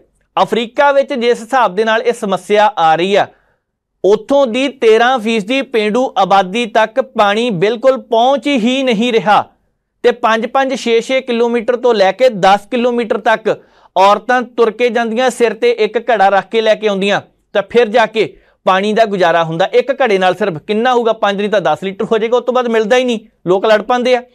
ਹੁਣ ਜੇਕਰ ਦੱਖਣੀ ਅਫਰੀਕਾ ਦੇ ਵਿੱਚ ਇਦਾਂ ਆ 33% ਦੀ ਲੋਕ ਉਹ ਹੈ, ਜਿਨ੍ਹਾਂ ਦੇ ਕੋਲ ਬੁਨਿਆਦੀ ਸਹੂਲਤਾਂ ਪਾਣੀ ਨਾਲ ਪੂਰੀਆਂ ਹੋਣ ਵਾਲੀਆਂ ਕਦੀ ਹੁੰਦੀਆਂ ਹੀ ਨਹੀਂ। ਕਮਾਲ ਦੀ ਗੱਲ ਇਹ ਹੈ ਕਿ ਉੱਥੇ 14% ਦੀ ਸ਼ਹਿਰੀ ਲੋਕ ਉਹ ਹੈ ਜਿਨ੍ਹਾਂ ਤੱਕ ਪਾਣੀ, ਮੋਟਰਾਂ ਵਧੀਆ ਲਵਾ ਲਈਆਂ ਉਹਨਾਂ ਨੇ, ਵੱਡੇ ਬੋਰ ਕਰਾ ਲਏ ਆ, ਉਹਨਾਂ ਦੀਆਂ ਜ਼ਰੂਰਤਾਂ ਪੂਰੀਆਂ ਹੁੰਦੀਆਂ। ਪਰ ਜਦੋਂ ਸ਼ਹਿਰ ਦੇ ਵਿੱਚੋਂ ਪਾਈਪਲਾਈਨ ਜਾਂਦੀ ਆ, ਤਾਂ ਉਹ ਪਾਣੀ 40% ਦੀ ਲੋਕਾਂ ਤੱਕ ਪਹੁੰਚਣ ਤੋਂ ਪਹਿਲਾਂ ਲੀਕ ਹੋ ਹੋ ਕੇ ਬਰਬਾਦ ਹੋ ਜਾਂਦਾ। ਉਹ ਲੀਕ ਨਹੀਂ ਹੁੰਦਾ, ਉੱਥੋਂ ਲੋਕਾਂ ਨੇ ਕਿਸੇ ਨਾ ਕਿਸੇ ਤਰੀਕੇ ਜਗਾੜ ਲਗਾਇਆ ਕਿ ਅਸੀਂ ਇਹ ਪਾਣੀ ਕੱਢ ਲਈਏ। ਅਫਰੀਕਾ ਦੇ ਵਿੱਚ ਇੰਨੇ ਮਾੜੇ ਹਾਲਾਤ ਨੇ ਸਾਡੇ ਵੀ ਹਾਲਾਤ ਬਣਨ ਨੂੰ ਬਹੁਤਾ ਸਮਾਂ ਨਹੀਂ ਲੱਗਣਾ। ਸਾਡੇ ਇੱਥੇ ਵਿਗਿਆਨੀ ਕਹਿੰਦੇ 2050 ਤੱਕ ਬਹੁਤ ਮਾਹਰ ਕਹਿੰਦੇ ਆ ਕਿ 2050 ਤੱਕ ਪਾਣੀ ਦੀ ਸਮੱਸਿਆ ਆਉਣ ਵਾਲੀ 2050 ਕਿੰਨੇ ਦਿਖਿਆ? ਪਰ ਸਾਨੂੰ ਤਾਂ 2023 ਦੇ ਵਿੱਚ ਇਹ ਸਮੱਸਿਆ ਦਿਖਾਈ ਦੇ ਰਹੀ ਹੈ ਜਦੋਂ ਮਾਝੇ ਦੇ ਕਈ ਪਿੰਡਾਂ ਤੋਂ ਇਹ ਖਬਰਾਂ ਆਉਂਦੀਆਂ, ਮਾਲਵੇ ਦੇ ਕਈ ਪਿੰਡਾਂ ਤੋਂ ਇਹ ਖਬਰਾਂ ਆਉਂਦੀਆਂ ਕਿ ਧਰਤੀ ਹੇਠਲਾ ਨਿਕਲਣ ਵਾਲਾ ਪਾਣੀ ਕਾਲਾ ਹੋ ਰਿਹਾ ਹੈ ਗੰਦਲਾ ਹੋ ਰਿਹਾ ਹੈ ਤੇ ਫਿਰ ਅੰਗਲੇ ਪੰਜਾਬ ਦੀਆਂ ਕਿਹੜੀਆਂ ਗੱਲਾਂ ਕਰਨੀਆਂ ਨੇ, ਕਿਹੜੀਆਂ ਉਦਾਹਰਨਾਂ ਦੇਣੀਆਂ ਨੇ? ਗੱਲ ਇੱਥੇ ਨਹੀਂ ਮੁੱਕਦੀ। ਨਾਈਜੀਰੀਆ ਦੀ ਜੇਕਰ ਗੱਲ ਕਰੀਏ, ਨਾਈਜੀਰੀਆ ਦੇ ਹਾਲਾਤ ਵੀ ਬਹੁਤੇ ਚੰਗੇ ਨਹੀਂ। 6 ਕਰੋੜ ਆਬਾਦੀ ਉਹ ਹੈ ਜਿਹਦੇ ਤੱਕ ਸਾਫ਼ ਪਾਣੀ ਪਹੁੰਚ ਹੀ ਨਹੀਂ ਸਕਦਾ। ਤਾਂ ਫਿਰ ਇੱਥੋਂ ਵੀ ਤਾਂ ਅੰਦਾਜ਼ਾ ਲਗਾਇਆ ਜਾ ਸਕਦਾ ਕਿ ਲੋਕ ਬਿਮਾਰੀਆਂ ਨਾਲ ਮਰ ਰਹੇ ਨੇ। ਇੱਥੋਂ ਅੰਦਾਜ਼ਾ ਲਗਾਇਆ ਜਾ ਸਕਦਾ ਕਿ ਬੁਨਿਆਦੀ ਢਾਂਚਾ ਕਿੰਨਾ ਵਿਗੜ ਰਿਹਾ ਉੱਥੇ। ਸਾਡੇ ਜੇਕਰ ਪੰਜਾਬ ਦੀ ਗੱਲ ਕਰੀਏ, ਇਹ ਗੱਲ ਕਰਨ ਦੀ ਜ਼ਰੂਰਤ ਕਿਉਂ ਪਈ ਹੈ? ਕਿਉਂਕਿ ਇੱਥੇ ਲੋਕ ਇੱਕ ਸੌਖਾ ਜਿਹਾ ਸ਼ਬਦ ਵਰਤ ਲੈਂਦੇ ਆ। ਹਾਂ 50 ਰੁਪਏ ਤਾਂ ਹੈ ਸਾਰਾ ਬਿੱਲ, ਕਿੰਨਾ ਕਾ ਕਿਤੇ। 50 ਰੁਪਏ ਬਿੱਲ ਆ 150 ਰੁਪਏ ਬਣਨਾ 3 ਮਹੀਨੇ ਦਾ ਦੇ ਦਾਂਗੇ। ਸਰਕਾਰੀ ਟੂਟੀ ਦਾ ਪਾਣੀ ਨਹੀਂ ਬੰਦ ਕਰਦੇ।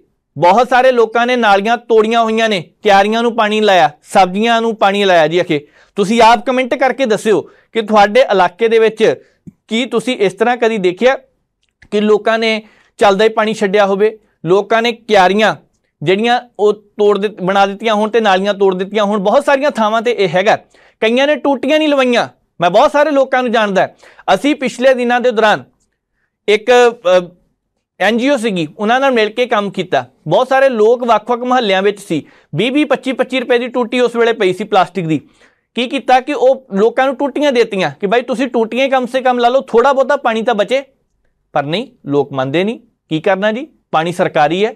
ਤੁਸੀਂ ਕੌਣ ਹੈ ਪੁੱਛਣ ਵਾਲੇ? ਇਹ ਬਹੁਤ ਸਾਰੇ ਇਸ ਤਰ੍ਹਾਂ ਦੇ ਲੋਕ ਨੇ ਜਿਹੜੇ ਪਾਣੀ ਨੂੰ ਬਰਬਾਦ ਕਰ ਰਹੇ ਆ ਤੇ ਆਉਣ ਵਾਲੇ ਦਿਨਾਂ ਦੇ ਦੌਰਾਨ ਉਹ ਦਿਨ ਦੂਰ ਨਹੀਂ, ਜਦੋਂ ਇਸ ਤਰ੍ਹਾਂ ਦੀਆਂ ਸਮੱਸਿਆਵਾਂ ਵੱਧ ਜਾਣੀਆਂ ਨੇ। ਸਿਆਸਤ ਦੀ ਗੱਲ ਕਰਦੇ ਆ ਮੁੜ। ਨਸ਼ੇ ਦੀ ਗੱਲ ਕਰਨੀ ਹੈ। ਅਸੀਂ ਕੱਲ ਜ਼ਿਕਰ ਕੀਤਾ ਸੀ, ਪੰਜਾਬ ਦੇ ਮੁੱਖ ਮੰਤਰੀ ਭਗਵੰਤ ਮਾਨ ਸਾਹਿਬ ਨੇ ਇੱਕ ਕੱਲ ਗੱਲ ਕੀਤੀ, ਉਹ ਕਹਿੰਦੇ ਕਿ ਡਰੋਨਸ ਦੀ ਰਜਿਸਟ੍ਰੇਸ਼ਨ ਹੋਣਾ ਜ਼ਰੂਰੀ ਹੈ। ਬਿਲਕੁਲ ਸਹੀ ਗੱਲ ਹੈ।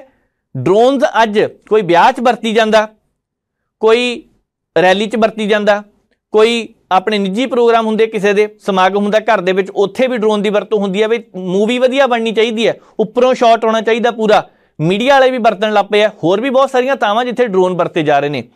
ਇਹਦੀ ਰਜਿਸਟ੍ਰੇਸ਼ਨ ਨਹੀਂ ਗਈ ਹਾਲਾਂਕਿ ਭਾਰਤ ਦੇ ਵਿੱਚ ਬਹੁਤ ਸਾਰੀਆਂ ਥਾਵਾਂ ਇਸ ਤਰ੍ਹਾਂ ਦੀਆਂ ਨੇ ਜਿੱਥੇ ਡਰੋਨ ਦੀ ਟ੍ਰੇਨਿੰਗ ਦਿੱਤੀ ਜਾਂਦੀ ਹੈ ਟ੍ਰੇਨਿੰਗ ਸੈਂਟਰ ਹੈਗੇ ਆ, ਪਰ ਪੰਜਾਬ ਦੇ ਵਿੱਚ ਕਿੰਨੇ ਆ? ਸਿਰਫ ਇੱਕ ਆ।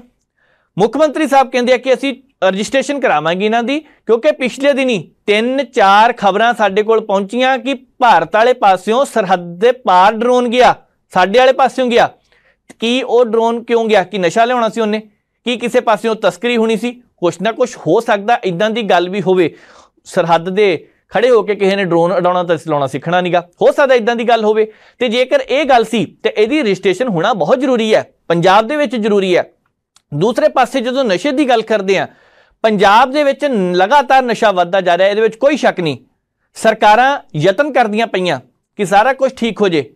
ਇਹਦੇ ਵਿੱਚ ਵੀ ਕੋਈ ਸ਼ੱਕ ਨਹੀਂ ਕਿ ਪਿਛਲੀਆਂ ਸਰਕਾਰਾਂ ਨੇ ਵੀ ਸੌਹਾਂ ਖਾਧੀਆਂ। ਸ਼੍ਰੀ ਗੁਟਕਾ ਸਾਹਿਬ ਹੱਥ ਵਿੱਚ ਫੜ ਕੇ ਕਿਹਾ ਕਿ ਅਸੀਂ ਨਸ਼ਿਆਂ ਦਾ ਲੱਕ ਤੋੜ ਦਿਆਂਗੇ। ਹੋ ਸਕਦਾ ਨਸ਼ਿਆਂ ਦਾ ਲੱਕ ਹੁੰਦਾ ਤੇ ਨਹੀਂ ਤੋੜ ਹੀ ਦਿੱਤਾ ਹੋਵੇ। ਹੁਣ ਦੀ ਸਰਕਾਰ ਵੀ ਕਹਿੰਦੀ ਅਸੀਂ ਨਸ਼ੇ ਖਤਮ ਕਰ ਦਿਆਂਗੇ। ਪਿਛਲੇ 4 ਦਿਨਾਂ ਦੇ ਵਿੱਚ 8 ਮੌਤਾਂ ਹੋਈਆਂ। ਮਾਛੀਵਾੜਾ ਸਾਹਿਬ ਤੋਂ ਦੋ ਖਬਰਾਂ ਸਾਹਮਣੇ ਆਈਆਂ। ਇੱਕ ਨੌਜਵਾਨ ਹੁਣ ਸ਼ਮਸ਼ਾਨ ਘਾਟ ਦੇ ਕੋਲ ਮੁੱਦੇ ਮੁੱਢ ਗਿਆ ਪਿਆ, ਉਹਦਾ ਪੂਰਾ ਮੂੰਹ ਹੀ ਵਿੰਗਾ ਹੋ ਗਿਆ। ਇੱਥੇ ਸਰਿੰਜ ਲੱਗੀ ਸੀ। ਇੱਕ ਹੋਰ ਅਖਬਾਰ ਦੇ ਵਿੱਚ ਹੀ ਅੱਜ ਹੀ ਖਬਰ ਲੱਗੀ ਆ। ਸੁਨੱਖੇ ਮੁੰਡੇ ਨੇ, ਉਮਰ ਕਿੰਨੀ ਹੈ 20 ਕਿ ਸਾਲ ਹੋਵੇਗੀ। ਉਹਦੇ ਵੀ ਇੱਕ ਬਾਹ ਦੇ ਵਿੱਚ ਸਰਿੰਜ ਲੱਗੀ ਪਈ ਆ। ਤੇ ਇੱਥੇ ਜਿਹੜੇ ਸਿਆਸਤਦਾਨ ਕਹਿੰਦੇ ਸਾਨੂੰ ਤੇ ਪਤਾ ਹੀ ਨਹੀਂ ਜੀ ਇਦਾਂ ਦੀ ਗੱਲ ਹੈਗੀ ਹੈ ਅਖਬਾਰਾਂ ਫਿਰ ਸਾਰੀ ਪੜ੍ਹਦੇ ਹੋਣਗੇ, ਖਬਰਾਂ ਸਾਰਿਆਂ ਤੱਕ ਪਹੁੰਚ ਜਾਂਦੀਆਂ। ਪਰ ਕੀ ਲੋਕਾਂ ਦੀ ਮੌਤ ਦੀ ਖਬਰ ਸਿਰਫ ਅਖਬਾਰ ਦੀ ਸੁਰਖੀ ਬਣ ਕੇ ਰਹਿ ਜਾਂਦੀ ਹੈ ਕੀ ਕਾਰਨ ਹੈ ਕਿ ਉਹ ਲੋਕਾਂ ਤੱਕ ਪਹੁੰਚਦੀ ਨਹੀਂ ਪਈ? ਨਸ਼ਾ ਇਸ ਵੇਲੇ ਜਿਸ ਹਿਸਾਬ ਦੇ ਨਾਲ ਵੱਧਦਾ ਪਿਆ ਉਹਨੂੰ ਰੋਕਣ ਦੇ ਯਤਨ ਵੀ ਕੀਤੇ ਜਾ ਰਹੇ ਆ। ਪੰਜਾਬ ਦੇ ਵਿੱਚ ਕੁਝ ਕੁ ਪਿੰਡ ਇਸ ਤਰ੍ਹਾਂ ਦੇ ਨੇ, ਮਾਲਵੇ ਦੇ ਵਿੱਚ, ਜਿਨ੍ਹਾਂ ਨੇ ਇਸ ਵੇਲੇ ਸ਼ੁਰੂਆਤ ਕੀਤੀ ਹੈ ਕਿ ਅਸੀਂ ਨਸ਼ੇ ਨੂੰ ਲੈ ਕੇ ਲਾਮਬੰਦ ਹੋਵਾਂਗੇ, ਅਸੀਂ ਨਸ਼ਾ ਖਤਮ ਕਰਕੇ ਦਿਖਾਵਾਂਗੇ। ਭਾਈ ਰੂਪਾ, ਦੁੱਲੇਵਾਲਾ ਪਿੰਡ ਮਿਰਜ਼ਾ ਦਿਆਲਪੁਰ, ਹਰਨਾਮ ਸਿੰਘ ਵਾਲਾ, ਹੋਰ ਵੀ ਕਈ ਪਿੰਡ ਨੇ, ਇੱਥੋਂ ਦੇ ਪਿੰਡਾਂ ਨੇ ਕਮੇਟੀਆਂ ਬਣਾਈਆਂ। ਉਹਨਾਂ ਨੇ ਕਿਹਾ ਕਿ ਅਸੀਂ ਵਾਅਦਾ ਕਰਦੇ ਹਾਂ ਆਉਣ ਵਾਲੇ ਦਿਨਾਂ ਦੇ ਦੌਰਾਨ ਜਿਹੜਾ ਨਸ਼ਾ ਵੇਚਦਾ ਫੜਿਆ, ਉਹਨੂੰ ਕਾਨੂੰਨ ਦੇ ਹੱਥਾਂ 'ਚ ਦੇਵਾਂਗੇ, ਉਹਦੇ ਖਿਲਾਫ ਕਾਰਵਾਈ ਕੀਤੀ ਜਾਵੇਗੀ ਤੇ ਅਸੀਂ ਪੰਚਾਇਤ ਵਿੱਚ ਵੀ ਮਤਾ ਪਾਵਾਂਗੇ। ਉਸ ਬੰਦੇ ਦਾ ਬਾਈਕਾਟ ਕੀਤਾ ਜਾਵੇਗਾ। ਫਿਰ ਜੋ ਵੀ ਕਾਨੂੰਨ ਕਰੇਗਾ ਸਾਨੂੰ ਮਨਜ਼ੂਰ ਹੋਵੇਗਾ, ਪਰ ਬੰਦੇ ਨੂੰ ਛੱਡਣੇ ਨਹੀਂ ਕਹਿੰਦੇ ਅਸੀਂ। ਸਾ- ਪ੍ਰਾਈਮ ਏਸ਼ੀਆ ਟੀਵੀ ਦੇ ਪੱਤਰਕਾਰ ਨੇ ਗੋਵਿੰਦਰ ਜੰਗੀਆਣਾ ਜੰਗੀਆਣਾ ਸਾਹਿਬ ਨੇ ਉਹਨਾਂ ਲੋਕਾਂ ਨਾਲ ਗੱਲਬਾਤ ਕੀਤੀ ਹੈ। ਜੰਗੀਆਣਾ ਹੁਣੀ ਕਹਿੰਦੇ ਨੇ ਕਿ ਫ਼ਰਕ ਹੈਗਾ ਬਾਕੀ ਬਾਈ ਜੀ ਕਹਿੰਦੇ ਫ਼ਰਕ ਹੈ ਉੱਥੇ। ਲੋਕ ਘਟੇ ਨੇ, ਤਸਕਰ ਥੋੜਾ ਜਿਹਾ ਡਰੇ ਨੇ। ਜੇਕਰ ਇਹ ਡਰ ਪੰਜਾਬ ਦੇ ਪੰਜਾਂ ਪਿੰਡਾਂ ਦੇ ਵਿੱਚ ਪੈ ਸਕਦਾ ਇਸ ਤੋਂ ਪਹਿਲਾਂ ਵੀ ਦੋ ਤਿੰਨ ਪਿੰਡਾਂ ਦੇ ਮਾਲਵਿਆਂ ਤੋਂ ਖਬਰ ਆਈ ਸੀ ਕਿ ਲੋਕਾਂ ਨੇ ਇਕੱਠੇ ਹੋਣਾ ਸ਼ੁਰੂ ਹੋਇਆ ਜੇਕਰ ਦੋ ਤਿੰਨ ਪਿੰਡ, ਪੰਜ ਪਿੰਡ ਇਕੱਠੇ ਹੋ ਕੇ ਇਹ ਕੰਮ ਕਰ ਸਕਦੇ ਨੇ, ਤੇ ਪੰਜਾਬ ਦੇ ਵਿੱਚ ਮੈਂ ਨਹੀਂ ਕਹਿੰਦਾ 12700 ਤੋਂ ਵੱਧ ਜਿਹੜੇ ਪਿੰਡ ਹੈ ਸਾਰੇ ਕਰੋ, ਕਰਨਾ ਤਾਂ ਚਾਹੀਦਾ ਪਰ ਜੇਕਰ ਸ਼ੁਰੂਆਤ 500 ਪਿੰਡਾਂ ਤੋਂ ਵੀ ਹੋ ਜਾਂਦੀ 100 ਤੋਂ ਵੀ ਹੋ ਜਾਂਦੀ ਹੈ, ਤਾਂ ਪੰਜਾਬ ਦਾ ਨਕਸ਼ਾ ਬਦਲ ਦਿੰਦਾ ਪੰਜਾਬ ਦੀ ਨੁਹਾਰ ਹੀ ਬਦਲ ਜਾਣੀ ਹੈ। ਪਰ ਜ਼ਰੂਰਤ ਇਹ ਹੈ ਕਿ ਨੌਜਵਾਨ ਅੱਗੇ ਹੋਣ। ਦੂਜਾ ਕੰਮ ਇਹ ਹੀ ਹੈ। ਪਿਛਲੇ ਦਿਨੀ ਪ੍ਰਸ਼ਾਸਨ ਨੇ ਨੰਬਰ ਜਾਰੀ ਕੀਤਾ। ਉਹ ਕਹਿੰਦੇ, ਸਾਨੂੰ ਦੱਸੋ ਨਸ਼ਾ ਕਿੱਥੇ ਹੁੰਦਾ? ਅਸੀਂ ਉਸ ਨੰਬਰ ਤੇ ਕੰਪਲੀਟ ਕਰਾਂਗੇ, ਕਿਸੇ ਨੂੰ ਕੋਈ ਸਮੱਸਿਆ ਨਹੀਂ ਹੋਣੀ। ਤਾਂ ਫਿਰ ਫਲੋਰ ਵਾਲੇ ਪਾਸੇ ਇੱਕ ਬੰਦੇ ਨੇ ਕਹਿੰਦੇ ਕੰਪਲੀਟ ਕੀਤੀ ਸੀ। ਤਸਕਰਾਂ ਨੇ ਸ਼ੱਕ ਦੇ ਆਧਾਰ ਤੇ ਉਹਨੂੰ ਮਾਰ ਦਿੱਤਾ। ਲੱਤਾਂ ਬਾਹਾਂ ਵੀ ਤੋੜ ਦਿੱਤੀਆਂ ਸੀ ਪਹਿਲਾਂ। ਬਹੁਤ ਰੌਲਾ ਪਿਆ। ਪਰ ਜੇਕਰ ਇਦਾਂ ਹੀ ਸਾਰਾ ਕੁਝ ਹੁੰਦਾ ਰਹੇ ਤੇ ਫਿਰ ਕੌਣ ਜਵਾਬ ਦੇਵੇਗਾ, ਪਰ ਪਿੰਡ ਦੇ ਲੋਕ ਕਹਿੰਦੇ ਨੇ, ਕਮੇਟੀਆਂ ਬਣਾਉਣ ਤੋਂ ਬਾਅਦ ਫਾਇਦਾ ਹੋਇਆ ਕੀ ਕੀ ਫਾਇਦਾ ਹੋਇਆ? ਜੰਗੀ ਹੋਰਾਂ ਦੀ ਰਿਪੋਰਟ ਦੇਖਦੇ ਹਾਂ। ਇਹ ਭਾਈ ਮੈਂ ਗੱਲ ਕਰਾਂ ਭਾਈ ਰੁਪਏ ਤੋਂ ਸ਼ੁਰੂਆਤ ਹੋਈ ਸੀ ਕਾਫੀ ਚਰਚਾ ਇਸ ਕੰਮ ਦੀ ਤੁਹਾਡੀ ਹੋਈ ਆ ਸਲਾਘਾ ਹੋਈ ਆ ਕਿ। ਨਸ਼ਿਆਂ ਵਿਰੁੱਧ ਤੁਸੀਂ ਜਿਹੜਾ ਕਮੇਟੀਆਂ ਬਣਾ ਕੇ ਜੰਗ ਸ਼ੁਰੂ ਕੀਤੀ ਆ। ਹੁਣ ਇਹ ਜੰਗ ਕਿੱਥੋਂ ਤੱਕ ਪਹੁੰਚ ਗਈ? ਇਹ ਜੰਗ ਜੀ ਹੁਣ ਘਰ ਘਰ ਤੱਕ ਪਹੁੰਚ ਰਹੀ ਹੈ ਹੂੰ। ਪਿੰਡ ਦੁੱਲੇ ਵਾਲੇ ਤੋਂ ਸਟਾਰਟ ਹੋ ਕੇ ਹੂੰ। ਪਿੰਡ ਭੈਰੂਪਾ ਹੂੰ। ਪਿੰਡ ਦਿਆਲਪੁਰਾ ਮਿਰਜੇਕਾ ਘੰਡਾ ਬੰਨਾ ਹੂੰ। ਸੰਧੂ ਖੁਰਦ ਹੂੰ। ਹਰਨਾਮ ਸਿੰਘ ਵਾਲੇ ਪੈੜਾਂ ਪਾਉਂਦੀ ਹੋਈ ਹੁਣ ਕੌਲੋ ਤੱਕ ਜਾਵੜੀ ਜੀ। ਕੌਲੋ ਕੇ ਪਿੰਡ ਤੱਕ ਹੂੰ। ਹੁਣ ਕਾਫੀ ਪਿੰਡਾਂ ਦੇ ਵਿੱਚੋਂ ਸਾਨੂੰ ਫੋਨ ਆਉਂਦੇ ਆ ਕਿ ਸਾਡੇ ਪਿੰਡ ਵੀ ਕਮੇਟੀ ਬਣਾ ਕੇ ਜਾਓ। ਕੱਲ ਇਹਨਾਂ ਦੇ ਪਿੰਡ ਹਰਨਾਮ ਸਿੰਘ ਵਾਲੇ ਆਪਾਂ ਅੱਜ ਖੜੇ ਆ। ਆਹ ਦੇਖ ਲਓ ਕੜਕ ਦੀ ਧੁੱਪ ਵਿੱਚ ਇਹ ਵਰਕ ਕਰ ਰਹੀਆਂ ਕਮੇਟੀਆਂ। ਅਸੀਂ ਲੋਕਾਂ ਨੂੰ ਇਹ ਗੱਲ ਸੁਚੇਤ ਕਰਨਾ ਚਾਹੁੰਦੇ ਆ ਕਿ ਬਾਈ ਹੁਣ ਤੁਸੀਂ ਜਾਗ ਲਓ। ਕਿਉਂਕਿ ਇਹ ਇਕੱਲੇ ਸਰਕਾਰਾਂ ਦਾ ਕੰਮ ਨਹੀਂ। ਕਿਉਂਕਿ ਸਰਕਾਰਾਂ ਤਾਂ ਦੇਖੋ ਹੁਣ ਚਿੱਟਾ ਵੇਚਦੇ ਤਾਂ ਆਪਣੀ ਕਮਿਊਨਿਟੀ ਦੇ ਲੋਕ ਹੀ ਆ। ਆਪਣਾ ਆਲਾ ਦੁਆਲਾ ਹੀ ਵੇਚਦਾ। ਪੀਂਦਾ ਵੀ ਆਪਣਾ ਆਲਾ ਦੁਆਲਾ ਨਾ ਸਰਕਾਰਾਂ ਮਰਦੀਆਂ। ਤੇ ਨਾ ਪ੍ਰਸ਼ਾਸਨ ਮਰਦਾ। ਦੇਖੋ ਪ੍ਰਸ਼ਾਸਨ ਦਾ ਆਪਾਂ ਵੀ ਸਾਥ ਦਿੰਦਾ ਜੇ ਪ੍ਰਸ਼ਾਸਨ ਆਪਣਾ ਸਾਥ ਦੇਊਗਾ ਤਾਂ ਆਪਣਾ ਵੀ ਫਰਜ਼ ਬਣਦਾ ਵੀਰੇ ਕਿਤੇ ਨਾ ਕਿਤੇ। ਜੀ ਜੀ। ਕੀ ਵਰਕ ਕਰ ਰਹੇ ਹੋ?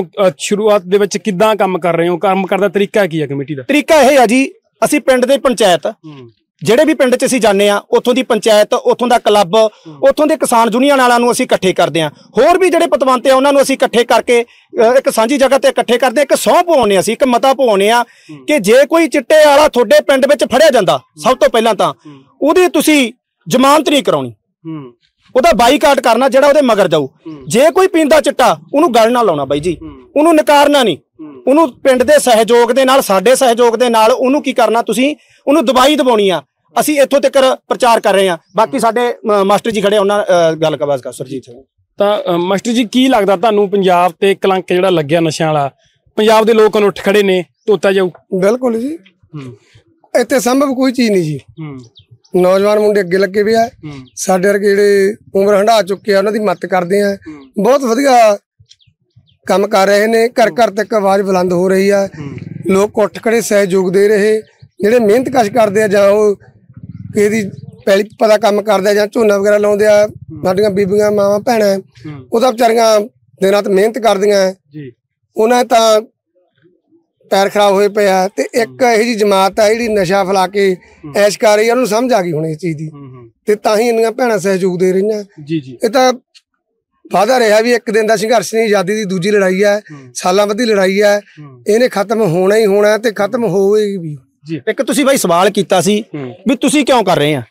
ਆ ਸਾਡੀ ਮਾਤਾ ਖੜੀ ਆ। ਕਿੱਥੇ ਆ ਭੈਣ ਜਿਹਦੇ ਆ ਆ ਖੜੀ ਆ ਸਾਡੀ ਮਾਤਾ। ਤੁਸੀਂ ਇਹਦੇ ਇਹਦੀ ਇਹ ਤੋਂ ਇਹ ਤੋਂ ਤੁਸੀਂ ਜ਼ਬਾਨੀ ਸੁਣੋ ਵੀ ਇਹਦੇ ਘਰ ਦੇ ਕੀ ਹਾਲਾਤ ਆ? ਕੀ ਹਾਲਾਤ ਕੀ ਮਾਤਾ? ਮੇਰਾ ਇੱਕ ਬੇਟਾ ਜੀ ਪਹਿਲਾਂ ਮੁੱਕ ਗਿਆ। ਚਿੱਟੇ ਨਾਲ ਮੁੱਕ ਗਿਆ? ਹਾਂ ਜੀ ਨਸ਼ੇ ਤੇ ਲਾਇਆ ਵਾ ਸੀਗਾ ਉਹ ਅ, ਅਣਜਾਣੀ ਚ ਲਾਤਾ ਸੀਗਾ ਨਸ਼ੇ ਤੇ। ਉਹ ਕਹਿੰਦਾ ਮੰਮੀ ਮੈਂ ਅਣਜਾਣੀ ਚ ਲੱਗ ਗਿਆ ਮੈਨੂੰ ਪਤਾ ਨਹੀਂ ਸੀ ਵੀ ਇਹ ਚੀਜ਼ ਕੀ ਹੈਗੀ। ਤੇ ਪਰ ਹੁਣ ਮੈਥੋਂ ਸੁੱਟਦਾ ਨਹੀਂਗਾ ਉਹਦਾ ਮਰ ਕੇ ਹੀ ਖੜਾ ਸੁੱਟਿਆ। ਹੂੰ। ਤੇ ਕਿੰਨੀ ਕੁ ਉਮਰ ਸੀ ਮਾਤਾ? 24 ਸਾਲ ਦਾ ਸੀਗਾ ਕੁਵਾਰਾ ਹੀ ਸੀਗਾ ਹਜੇ। ਹੂੰ। ਤੇ ਦੂਜਾ ਵੀ ਮੇਰਾ ਬੇਟਾ ਨਸ਼ੇ ਤੇ ਲਾਇਆ ਗਿਆ। ਦੂਜਾ ਵੀ ਨਸ਼ਾ ਕਰਦਾ? ਹਾਂ। ਤੇ ਹੁਣ ਮੇਰੇ ਘਰ ਦੇ ਬਹੁਤ ਹਾਲਾਤ ਮਾੜੇ ਆ ਮੇਰੇ ਭਾਂਡੇ ਵੀ ਨਹੀਂ ਛੱਡੇਗੇ ਮੇਰੇ ਟੈਂਕੀ ਵੀ ਭੰਨਤੀ ਟੂਟੀਆਂ ਵੀ ਤੋੜਤੀਆਂ ਸਿੰਖ ਵੀ ਤੋੜਤਾ। ਸਾਰੀ ਉਮਰ ਮੈਂ ਝਾੜੂ ਪੋਚੇ ਕਰ ਕਰਕੇ ਬਣਾ ਕੇ ਦਿੱਤਾ ਸੀਗਾ ਉਹਨੂੰ। ਸਾਰਾ ਨਸ਼ੇ 'ਚ ਘਰ ਖਰਾਬ ਕਰਤਾ? ਨਸ਼ੇ 'ਚ ਘਰ ਖਰਾਬ ਕਰਤਾ ਮੇਰਾ। ਜੇ ਪਹਿਲਾਂ ਤਾਂ ਦਿਹਾੜੀ ਤੇ ਰੱਖ ਲੈਂਦੇ ਆ ਵੀ ਸਾਡਾ ਆ ਬੇ ਫੜਾਇਆ ਫਲਾਣੇ ਬੰਦੇ ਨੂੰ ਫੜਾਇਆ ਢਿਮਕੇ ਨੂੰ ਫੜਾਇਆ। ਹੁਣ ਉਹਨੂੰ ਕਹਿ ਦਿੰਦੇ ਆ ਚੀਜ਼ ਚੱਕ ਲਿਆ ਕੋਈ ਜੇ ਨਹੀਂ ਤੇਰੇ ਕੋਲ ਪੈਸੇ ਹੈਗੇ ਤਾਂ। ਹੁਣ ਮੇਰੀ ਐਲਸੀਡੀ ਇਸ ਟਾਈਮ ਸਧਾਣੀ ਪਈ ਹੈਗੀ। 2000 ਰੁਪਇਆ ਮੈਥੋਂ ਭਰਾ ਲਿਆ ਅੱਬਰ ਦਾ। ਹੁਣ ਕਹਿੰਦੇ 2000 ਹੋਰ ਭਰਦੇ ਫੇਰ ਐਲਸੀਡੀ ਦੇਵਾਂਗੇ। ਮੇਰੇ ਖ- ਖੁਦ ਘਰੇ ਆਏ ਸੀਗੇ ਵੇਚਣ ਵਾਲੇ ਜਿਹੜੇ ਚਿੱਟਾ ਵੇਚਦੇ ਹੈਗੇ। ਕੋਈ ਨਾ ਮਾਤਾ ਜੀ ਹੁਣ ਸਾਰੇ ਨਾਲ ਨੇ ਤੁਹਾਡੇ ਹੁਣ ਲੱਗਦਾ ਕਿ ਨਸ਼ਾ ਮੁਕਤ ਮੁੰਡਾ ਮੇਰਾ ਕੁਵਾਰਾ ਮੁੱਕ ਗਿਆ। ਦੂਜਾ ਜੇ ਜਿਉਂਦਾ ਰਹਿ ਗਿਆ ਤਾਂ ਉਹਦਾ ਕਰ ਲਾਂਗੇ ਨਹੀਂ ਤਾਂ ਸਾਡੇ ਢਿੱਡ 'ਚ ਹੀ ਰਹਿ ਗਏ ਵਿਆਹਣ ਦੇ ਤਾਂ। ਕੋਈ ਨਾ ਮਾਤਾ ਕਮੇਟੀ ਸਾਰੀ ਨਾਲ ਆ ਪਿੰਡ ਸਾਰੇ ਨਾਲ ਆ ਤਾਂ ਉਮੀਦ ਕਰਦੇ ਆ ਕਿ ਬਾਈ ਵੀ ਠੀਕ ਹੋ ਜਾਊਗਾ। ਇਹ ਸਾਡੇ ਇੱਥੇ ਹਰਨਾਮ ਸਿੰਘ ਵਾਲੇ ਤੋਂ ਸਾਡੀ ਕਮੇਟੀ ਮੈਂਬਰ ਹੈ ਤੇ ਇਹਨਾਂ ਦੇ ਡੈਡੀ ਜੀ ਮੌਜੂਦਾ ਸਰਪੰਚ ਵੀ ਆ। ਤੇ ਬਾਕੀ ਇਹਨਾਂ ਨਾਲ ਤੁਸੀਂ ਗੱਲਬਾਤ ਕਰ ਲਓ। ਬਾਈ ਜਿਵੇਂ ਮਾਤਾ ਨੇ ਦੱਸਿਆ ਕਿ ਇੱਕ ਮੁੰਡਾ ਚਿੱਟੇ ਕਰਕੇ ਮਰ ਗਿਆ ਦੂਜਾ ਵੀ ਚਿੱਟਾ ਪੀਂਦਾ। ਹਾਲਾਤ ਬਹੁਤ ਮਾੜੇ ਆ ਪਿੰਡਾਂ ਦੇ ਵਿੱਚ। ਕੀ ਕਰ ਰਹੇ ਹੋ ਮੋਤਵਾਰੋਂ ਪਿੰਡ ਦੇ? ਰੋਕਣ ਦੇ ਲਈ ਕੀ ਉਪਰਾਲੇ? ਦੇਖੋ ਜੀ ਸੱਚ ਸਾਰਿਆਂ ਨੂੰ ਕੌੜੇ ਲੱਗੂ ਇੱਥੇ ਵਿੱਚ ਖੜੇ ਵੀ ਜਿਹੜੇ ਵੇਚਣ ਵਾਲੇ ਆ। ਠੀਕ ਆ? ਹੁਣ ਅਸੀਂ ਘਰੋਂ ਘਰੀ ਵੀ ਜਾ ਕੇ ਆਏ ਹੂੰ। ਕੱਲ ਉਹਨਾਂ ਨੇ ਜਦੋਂ ਅਸੀਂ ਸ਼ੁਰੂਆਤ ਕੀਤੀ ਸੀ ਕੱਲ ਵਿੱਚ ਬੰਦੇ ਕੁੱਟਣ ਪੈ ਗਏ ਜਿਹੜੇ ਜਿਹੜੇ ਵੇਚਦੇ ਸੀ ਤੇ ਜਿਨ੍ਹਾਂ ਨੇ ਨਾਂ ਲਏ ਸੀ। ਹੁਣ ਅੱਜ ਉਹ ਇੱਕ ਆਪਣੇ ਮੌਜੂਦਾ ਮੈਂਬਰ ਹੈਗੇ ਠੀਕ ਆ? ਉਹਨਾਂ ਦੇ ਬੱਚੇ ਵੇਚ ਰਹੇ ਆ ਠੀਕ ਆ? ਉਹਨਾਂ ਨੇ ਹੁਣ ਮੇਰਾ ਭਾਈ ਆ ਛੋਟਾ ਉਹ ਪੀਂਦਾਗਾ ਉਹਨਾਂ ਨੇ ਹੁਣ ਇਹ ਦੂਸਣ ਲਾਇਆ ਕਿ ਵੀ ਇਹ ਵੇਚ ਰਹੇ ਆ। ਬਾਅਦ ਸਾਰੇ ਪਿੰਡ ਵਾਲੇ ਖੜੇ ਇਹਨਾਂ ਨੂੰ ਪੁੱਛ ਲਓ ਵੀ ਹਣੀ ਨੂੰ 5 ਸਾਲ ਹੋ ਗਏ ਲੜਦੇ ਨੂੰ। ਵੀ ਇਹ ਹਣੀ ਵੇਚਦਾ ਜਾਂ ਜਿਹੜੇ ਹੁਣ ਜਿਹੜੇ ਵੇਚੀ ਜਾਂਦੇ ਆ ਉਹ ਵੇਚਦੇ ਆ। ਹੂੰ। ਬਾਕੀ ਇਹਨਾਂ ਨਾਲ ਗੱਲ ਕਰ ਲਓ ਜੀ ਪਿੰਡ ਵਾਲੇ। ਤਾਂ ਹੁਣ ਇਹ ਹੈ ਜੀ ਇਹ ਸਾਰੀਆਂ ਬੀਬੀਆਂ ਭੈਣਾਂ ਨੂੰ ਮੈਂ ਇੱਕ ਗੱਲ ਕਹਿਣਾ। ਦੇਖੋ। ਸੋ ਗੱਲਬਾਤ ਤੁਸੀਂ ਦੇਖੀ ਹੈ ਨਸ਼ਿਆਂ ਨੂੰ ਲੈ ਕੇ ਜੋ ਪਿੰਡ ਵਾਸੀਆਂ ਨਾਲ ਕੀਤੀ ਹੈ ਗੋਵਿੰਦਰ ਜੰਗੀਆਣੇ ਨੇ। ਇਹਦੇ ਵਿੱਚ ਇੱਕ ਗੱਲ ਤਾਂ ਹੈਗੀ ਹੈ ਕਮੇਟੀਆਂ ਬਣਾਈਆਂ ਹੋ ਸਕਦਾ ਇਹਦਾ ਫਾਇਦਾ ਆਉਣ ਵਾਲੇ ਦਿਨਾਂ ਦੇ ਦੌਰਾਨ ਮਿਲ ਜਵੇ ਪਰ ਇੱਕ ਗੱਲ ਹੋਰ ਧਿਆਨ ਰੱਖਣ ਵਾਲੀ ਗੱਲ ਹੈ। ਭਾਈਚਾਰੇ ਦੇ ਵਿੱਚ ਲੋਕ ਵੰਡਣੇ ਨਹੀਂ ਚਾਹੀਦੇ ਕਿਉਂਕਿ ਕੁਝ ਕੁ ਪਿੰਡਾਂ ਤੋਂ ਇਹ ਖਬਰਾਂ ਆਉਣੀਆਂ ਸ਼ੁਰੂ ਹੋ ਗਈਆਂ ਕਿ ਫਲਾਣੇ ਪਿੰਡ ਦੀ ਕਮੇਟੀ ਸਾਡੇ ਪਿੰਡ ਨਾ ਆਵੇ। ਐਦਾਂ ਨਹੀਂ ਗੱਲ ਹੋਣੀ ਚਾਹੀਦੀ। ਮਸਲਾ ਤਾਂ ਆਖਰ ਇਹ ਹੈ ਕਿ ਜੇਕਰ ਉਸ ਪਿੰਡ ਦੇ ਵਿੱਚ ਪਹਿਰਾ ਲੱਗਿਆ ਦਿਨ ਦੇ ਵਿੱਚ ਪਹਿਰਾ ਲੱਗਿਆ, ਰਾਤ ਵੇਲੇ ਪਹਿਰਾ ਲੱਗਿਆ ਕੋਈ ਲੰਘਦਾ ਵੜਦਾ ਆ ਵੀ ਜਾਵੇ, ਤਾਂ ਇਹ ਕਹਿ ਤਾ ਜਾਵੇ ਕੋਈ ਨਹੀਂ ਬਾਈ, ਅਸੀਂ ਤੇਰੇ ਵੱਲ ਵੀ ਥੋੜਾ ਜਿਹਾ ਖਿਆਲ ਰੱਖਾਂਗੇ, ਘੰਟਾ ਘੱਟ ਪਾ ਦਾਂਗੇ, ਤੇਰਾ ਕੋਈ ਨਹੀਂ। ਤਾਂ ਇਹ ਤਾਂ ਗੱਲ ਮੰਨਣ ਵਾਲੀ ਹੈ, ਪਰ ਜੇਕਰ ਇਹ ਕਿਹਾ ਜਾਵੇ ਕਿ ਇਹ ਬਿਲਕੁਲ ਨਹੀਂ ਆਉਣਾ ਸਾਡੇ ਪਿੰਡ, ਜੇ ਆ ਗਏ ਤਾਂ ਐਂ ਕਰ ਦਾਂਗੇ ਉਹ ਕਰ ਦਾਂਗੇ, ਇਹ ਗੱਲ ਨਹੀਂ ਹੋਣੀ ਚਾਹੀਦੀ, ਭਾਈਚਾਰੇ ਵੰਡ ਨਹੀਂ ਹੋਣਾ ਚਾਹੀਦਾ, ਲੋਕਾਂ 'ਚ ਪਿਆਰ ਵਧਣਾ ਚਾਹੀਦਾ ਇਹ ਚੀਜ਼ਾਂ ਪਿਆਰ ਨਾਲ ਹੀ ਖਤਮ ਹੋਣੀਆਂ। ਇਹ ਕਹਿੰਦੇ ਇੱਥੇ ਲੋਕਾਂ ਦਾ ਬਾਈਕਾਟ ਕਰ ਦੇਣਾ, ਚਲੋ ਅਸੀਂ ਉਹਦੇ ਵਿੱਚ ਨਹੀਂ ਕਹਿੰਦੇ ਬਾਈਕਾਟ ਕਰਨਾ ਕਰੋ, ਨਹੀਂ ਕਰਨਾ ਨਾ ਕਰੋ, ਪਰ ਨਾਲ ਇੱਕ ਸ਼ੁਰੂਆਤ ਹੋਰ ਕਰਨ ਦੀ ਜ਼ਰੂਰਤ ਹੈ। ਮਨੋਵਿਗਿਆਨਿਕ ਤੌਰ ਤੇ ਇਹਨਾਂ ਨੌਜਵਾਨਾਂ ਨੂੰ ਸਹੀ ਪਾਸੇ ਲਾਉਣ ਦੀ ਜ਼ਰੂਰਤ ਹੈ, ਇਹਨਾਂ ਨੂੰ ਕਾਉਂਸਲਿੰਗ ਦੀ ਜ਼ਰੂਰਤ ਹੈ। ਪੰਜਾਬ ਦੇ ਵਿੱਚ ਮੰਗ ਕੀਤੀ ਜਾਵੇ ਕਿ ਕਾਉਂਸਲਿੰਗ ਸੈਂਟਰ ਖੋਲੇ ਜਾਣ ਪਿੰਡਾਂ ਦੇ ਵਿੱਚ ਕਾਉਂਸਲਿੰਗ ਸੈਂਟਰ ਖੋਲੇ ਜਾਣ। ਇਹਨਾਂ ਨੌਜਵਾਨਾਂ ਦੀ ਕਾਉਂਸਲਿੰਗ ਕਰਕੇ ਇਹਨਾਂ ਨੂੰ ਦੂਰ ਕੀਤਾ ਜਾ ਸਕਦਾ ਇਹ ਵੀ ਇੱਕ ਹਿਸਾਬ ਦੀ ਬਿਮਾਰੀ ਹੈ, ਪਰ ਡਰਦੇ ਕੋਈ ਕੋਲ ਆਉਂਦੇ ਨਹੀਂ, ਕਿਉਂਕਿ ਪਤਾ ਨਹੀਂ ਹੁੰਦਾ ਕਿੰਨੇ ਕਿੱਥੇ ਕਦੋਂ ਕੀ ਮਾਰ ਦੇਣਾ। ਕਿਉਂਕਿ ਤਿੱਖੀ ਚੀਜ਼, ਨਕੀਲੀ ਚੀਜ਼ ਕੋਈ ਵੀ ਹੋ ਸਕਦੀ ਹੈ, ਕੋਈ ਹਥਿਆਰ ਹੋ ਸਕਦਾ ਹੈ, ਪਰ ਇਹਨਾਂ ਨੂੰ ਕਾਉਂਸਲਿੰਗ ਦੀ ਜ਼ਰੂਰਤ ਹੈ। ਜੇਕਰ ਇੱਧਰ ਵੀ ਧਿਆਨ ਦਿੱਤਾ ਜਾਵੇ ਤਾਂ ਹੋ ਸਕਦਾ ਹੈ ਮਸਲੇ ਦਾ ਹੱਲ ਹੋ ਜਵੇ। ਅੱਗੇ ਵਧਦੇ ਹਾਂ। ਗੱਲ ਕਰਨੀ ਹੈ ਸੁਖਦੇਵ ਸਿੰਘ ਢੀਂਡਸਾ ਹੋਰਾਂ ਦੀ। ਢੀਂਡਸਾ ਸਾਹਿਬ ਨੇ ਇੱਕ ਚਿੱਠੀ ਦੇਸ਼ ਦੇ ਪ੍ਰਧਾਨ ਮੰਤਰੀ ਸਾਹਿਬ ਨੂੰ ਲਿਖੀ ਹੈ। ਚਿੱਠੀ ਨਵੀਂ ਹੈ, ਪਰ ਮੰਗਾਂ ਪੁਰਾਣੀਆਂ ਨੇ। ਮੰਗਾਂ ਉਹੀ ਹੈ ਜੋ ਪਿਛਲੇ 10 ਸਾਲਾਂ ਤੋਂ ਸ਼੍ਰੋਮਣੀ ਅਕਾਲੀ ਦਲ ਵੀ ਚੁੱਕਦਾ ਰਿਹਾ। ਹੈ। ਮੰਗਾਂ ਉਹੀ ਹੈ ਜੋ ਸ਼੍ਰੋਮਣੀ ਅਕਾਲੀ ਦਲ ਅਲੱਗ-ਅਲੱਗ ਹੋਣ ਵੇਲੇ ਤੋਂ ਪਹਿਲਾਂ ਵੀ ਚੁੱਕਦੇ ਰਹੇ, ਕਿਉਂਕਿ ਸ਼੍ਰੋਮਣੀ ਅਕਾਲੀ ਦਲ ਟਕਸਾਲੀ ਬਣਿਆ, ਸ਼੍ਰੋਮਣੀ ਅਕਾਲੀ ਦਲ ਸੰਯੁਕਤ ਬਣਿਆ। ਫਿਰ ਸ਼੍ਰੋਮਣੀ ਅਕਾਲੀ ਦਲ ਇੱਕ ਹੋਰ ਕਹਿੰਦੇ ਬਣ ਗਿਆ, ਅੰਮ੍ਰਿਤਸਰ ਵਾਲੇ ਪਾਸਿਓਂ ਵੀ। ਬੀਬੀ ਜਗੀਰ ਕੌਰ ਨੇ ਵੀ ਆਪਣਾ ਧੜਾ ਅਲੱਗ ਕਰ ਲਿਆ। ਕਈ ਸ਼੍ਰੋਮਣੀ ਅਕਾਲੀ ਦਲ ਬਣ ਗਏ। ਪਰ ਇੱਥੇ ਸਵਾਲ ਇਹ ਉੱਠਦਾ ਪਿਆ ਕਿ ਸੁਖਦੇਵ ਸਿੰਘ ਢੀਂਡਸਾ ਹੋਰਾਂ ਨੇ ਜਿਹੜੀਆਂ ਮੰਗਾਂ ਕੀਤੀਆਂ ਨੇ ਕਿ ਬੰਦੀ ਸਿੰਘਾਂ ਦੀ ਰਿਹਾਈ ਕੀਤੀ ਜਾਵੇ। ਮੁੱਦਾ ਲੰਬੇ ਸਮੇਂ ਤੋਂ ਲਟਕਦਾ ਪਿਆ ਜੇਲ੍ਹਾਂ ਦੇ ਵਿੱਚ ਸਜ਼ਾਵਾਂ ਪੂਰੀਆਂ ਕਰ ਚੁੱਕੇ ਨੇ। ਉਸ ਤੋਂ ਬਾਅਦ ਉਹਨਾਂ ਨੇ ਸ਼੍ਰੋਮਣੀ ਗੁਰਦੁਆਰਾ ਪ੍ਰਬੰਧਕ ਕਮੇਟੀ ਇਹਦੀਆਂ ਚੋਣਾਂ ਕਿਉਂ ਨਹੀਂ ਕਰਵਾਈਆਂ ਜਾ ਰਹੀਆਂ? ਸਿੱਧੇ ਤੌਰ ਤੇ ਉਹਨਾਂ ਨੇ ਕਹਿਤਾ ਕਿ ਬਾਦਲਾਂ ਦਾ ਕਬਜ਼ਾ ਜੀ ਇੱਥੇ। ਚਲੋ ਉਹਨੇ ਜਿਸ ਹਿਸਾਬ ਨਾਲ ਇਹ ਗੱਲ ਕੀਤੀ ਹੈ, ਚੋਣਾਂ ਹੋ ਸਕਦਾ ਆਉਂਦੇ ਦਿਨਾਂ ਨੂੰ ਕਰਵਾ ਵੀ ਦਿੱਤੀਆਂ ਜਾਣ। ਦੂਸਰੇ ਪਾਸੇ ਪੰਜਾਬ ਦੀ ਰਾਜਧਾਨੀ ਚੰਡੀਗੜ੍ਹ ਦਾ ਮੁੱਦਾ ਹੈ। ਉਹ ਵੀ ਬਹੁਤ ਗੰਭੀਰ ਹੈ, ਕਹਿੰਦੇ ਇੱਥੇ ਵੀ ਬੋਲਣਾ ਪੈਣਾ ਕਿਉਂਕਿ ਪੰਜਾਬ ਦੇ ਪਿੰਡਾਂ ਨੂੰ ਉਜਾੜ ਕੇ ਚੰਡੀਗੜ੍ਹ ਉੱਥੇ ਬਣਿਆ ਤੇ ਇਹ ਪੰਜਾਬ ਦੀ ਰਾਜਧਾਨੀ ਹੈ, ਪੰਜਾਬ ਦਾ ਇਹਦੇ ਉੱਪਰ ਹੱਕ ਹੈ।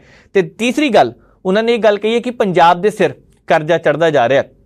ਤੇ ਜਿਸ ਹਿਸਾਬ ਨਾਲ ਇਹ ਕਰਜ਼ਾ ਚੜਦਾ ਜਾ ਰਿਹਾ ਹੈ, ਇਹਨੂੰ ਕਰਜ਼ੇ ਨੂੰ ਉਤਾਰਨ ਦੇ ਲਈ ਵਪਾਰ ਖੋਲਣਾ ਚਾਹੀਦਾ, ਸਰਹੱਦੀ ਪਾਰ ਵਪਾਰ ਹੋਣਾ ਚਾਹੀਦਾ ਤਾਂ ਕਰਕੇ ਸਾਰਾ ਕੁਝ ਠੀਕ ਹੋ ਜਾਏ ਬਾਗਾ ਰਸਤਾ ਬਾਗਾ ਬਾਰਡਰ ਜਿਹੜਾ ਉਹ ਖੋਲ ਦੇਣਾ ਚਾਹੀਦਾ ਪੰਜਾਬ ਦੇ ਵਿੱਚ ਹੜ੍ਹ ਆਏ ਸੀ, ਉਹਨੂੰ ਲੈ ਕੇ ਵੀ ਰਾਹਤ ਪੈਕੇਜ ਕੇਂਦਰ ਵਾਲੇ ਦਿਨ ਤੇ ਵੱਡੀ ਗੱਲ ਸਭ ਤੋਂ, ਜਿਹੜੀ ਬੇਅਦਬੀ ਦੀਆਂ ਘਟਨਾਵਾਂ ਵਾਪਰੀਆਂ ਸੀ, ਢੀਂਡਸਾ ਸਾਹਿਬ ਕਹਿੰਦੇ ਕਿ ਉਹਦਾ ਇਨਸਾਫ ਹੋਣਾ ਚਾਹੀਦਾ ਇਨਸਾਫ ਲਈ ਪਹਿਲਾਂ ਧਰਨੇ ਵੀ ਲੱਗੇ ਸੀ, ਬਹੁਤ ਸਾਰੀਆਂ ਜਥੇਬੰਦੀਆਂ ਇਕੱਠੀਆਂ ਵੀ ਹੋਈਆਂ। ਬਹੁਤ ਸਾਰੇ ਧਾਰਮਿਕ ਸ਼ਖਸੀਅਤਾਂ ਵੀ ਇਕੱਠੀਆਂ ਹੋਈਆਂ, ਪਰ ਪਤਾ ਨਹੀਂ ਲੱਗਿਆ ਕਿ ਰਾਤੋਂ ਰਾਤ ਧਰਨਾ ਕਿੱਧਰ ਗਿਆ। ਖੈਰ, ਅਜੇ ਤੱਕ ਵੀ ਪਰਿਵਾਰਕ ਮੈਂਬਰਾਂ ਨੇ ਧਰਨਾ ਲਗਾਇਆ, ਪਰ ਦੇਖਦੇ ਹਾਂ ਇਹ ਮੰਗਾਂ ਦੀ ਕਿੰਨੀ ਕੁ ਪੂਰਤੀ ਆਉਣ ਵਾਲੇ ਦਿਨਾਂ 'ਚ ਹੁੰਦੀ ਹੈ। ਜਾਂਦੇ ਜਾਂਦੇ ਗੱਲ ਅਮਰਿੰਦਰ ਸਿੰਘ ਰਾਜਾ ਵੜਿੰਗ ਦੀ ਵੀ ਕਰਨੀ ਹੈ, ਕਿਉਂਕਿ ਰਾਜਾ ਵੜਿੰਗ ਹੋਰਾਂ ਨੇ ਅੱਜ ਪੰਜਾਬ ਭਾਜਪਾ ਦੇ ਪ੍ਰਧਾਨ ਸੁਨੀਲ ਜਾਖੜ ਹੋਰਾਂ ਨੂੰ ਲੈ ਕੇ ਕੁਝ ਕੁ ਗੱਲਾਂ ਕਹੀਆਂ ਨੇ।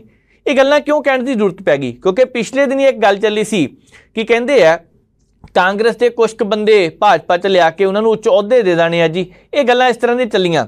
ਪਰ ਕਿੰਨੀ ਕਿ ਸੱਚਾਈ ਹੈ ਇਹਦੇ ਵਿੱਚ? ਰਾਜਾ ਵੜਿੰਗ ਕਹਿ ਰਹੇ ਕਿ ਇਦਾਂ ਦੀ ਤਾਂ ਕੋਈ ਗੱਲ ਹੈ ਨਹੀਂ। ਅਸੀਂ ਜਾਂਦੇ ਜਾਂਦੇ ਉਹ ਵੀ ਦੇਖ ਲੈਂਦੇ ਆ ਕਿ ਰਾਜਾ ਵੜਿੰਗ ਹੋਰਾਂ ਨੇ ਕੀ ਗੱਲ ਕੀਤੀ ਹੈ ਤੇ ਨਾਲ ਦੀ ਨਾਲ ਸੁਨੀਲ ਜਾਖੜ ਨੇ ਕੀ ਕਿਹਾ ਸੀ। ਜਾਏਗਾ, ਇੱਥੇ ਰੂਸ ਵਾਂਗੂ, ਚਾਈਨਾ ਦੇ ਵਾਂਗੂ ਇੱਕ ਰਾਜ ਹੋਏਗਾ ਜਿੱਥੇ ਉਸ ਤੋਂ ਬਾਅਦ ਚੁਣਾਵ ਨਹੀਂ ਹੋਣੇ। ਸੋ ਉਹ ਸਾਰੇ ਦਲ ਇਕੱਠੇ ਹੋਏ ਹੈ। ਹਾਲਾਂਕਿ ਅਸੀਂ ਪ੍ਰਦੇਸ਼ਾਂ ਚਾਹੇ ਉਹ ਕੇਰਲਾ ਹੈ ਚਾਹੇ ਉਹ ਬੰਗਾਲ ਹੈ ਚਾਹੇ ਉਹ ਪੰਜਾਬ ਚ ਹੈ ਅਸੀਂ ਵੱਖ-ਵੱਖ ਲੜਦੇ।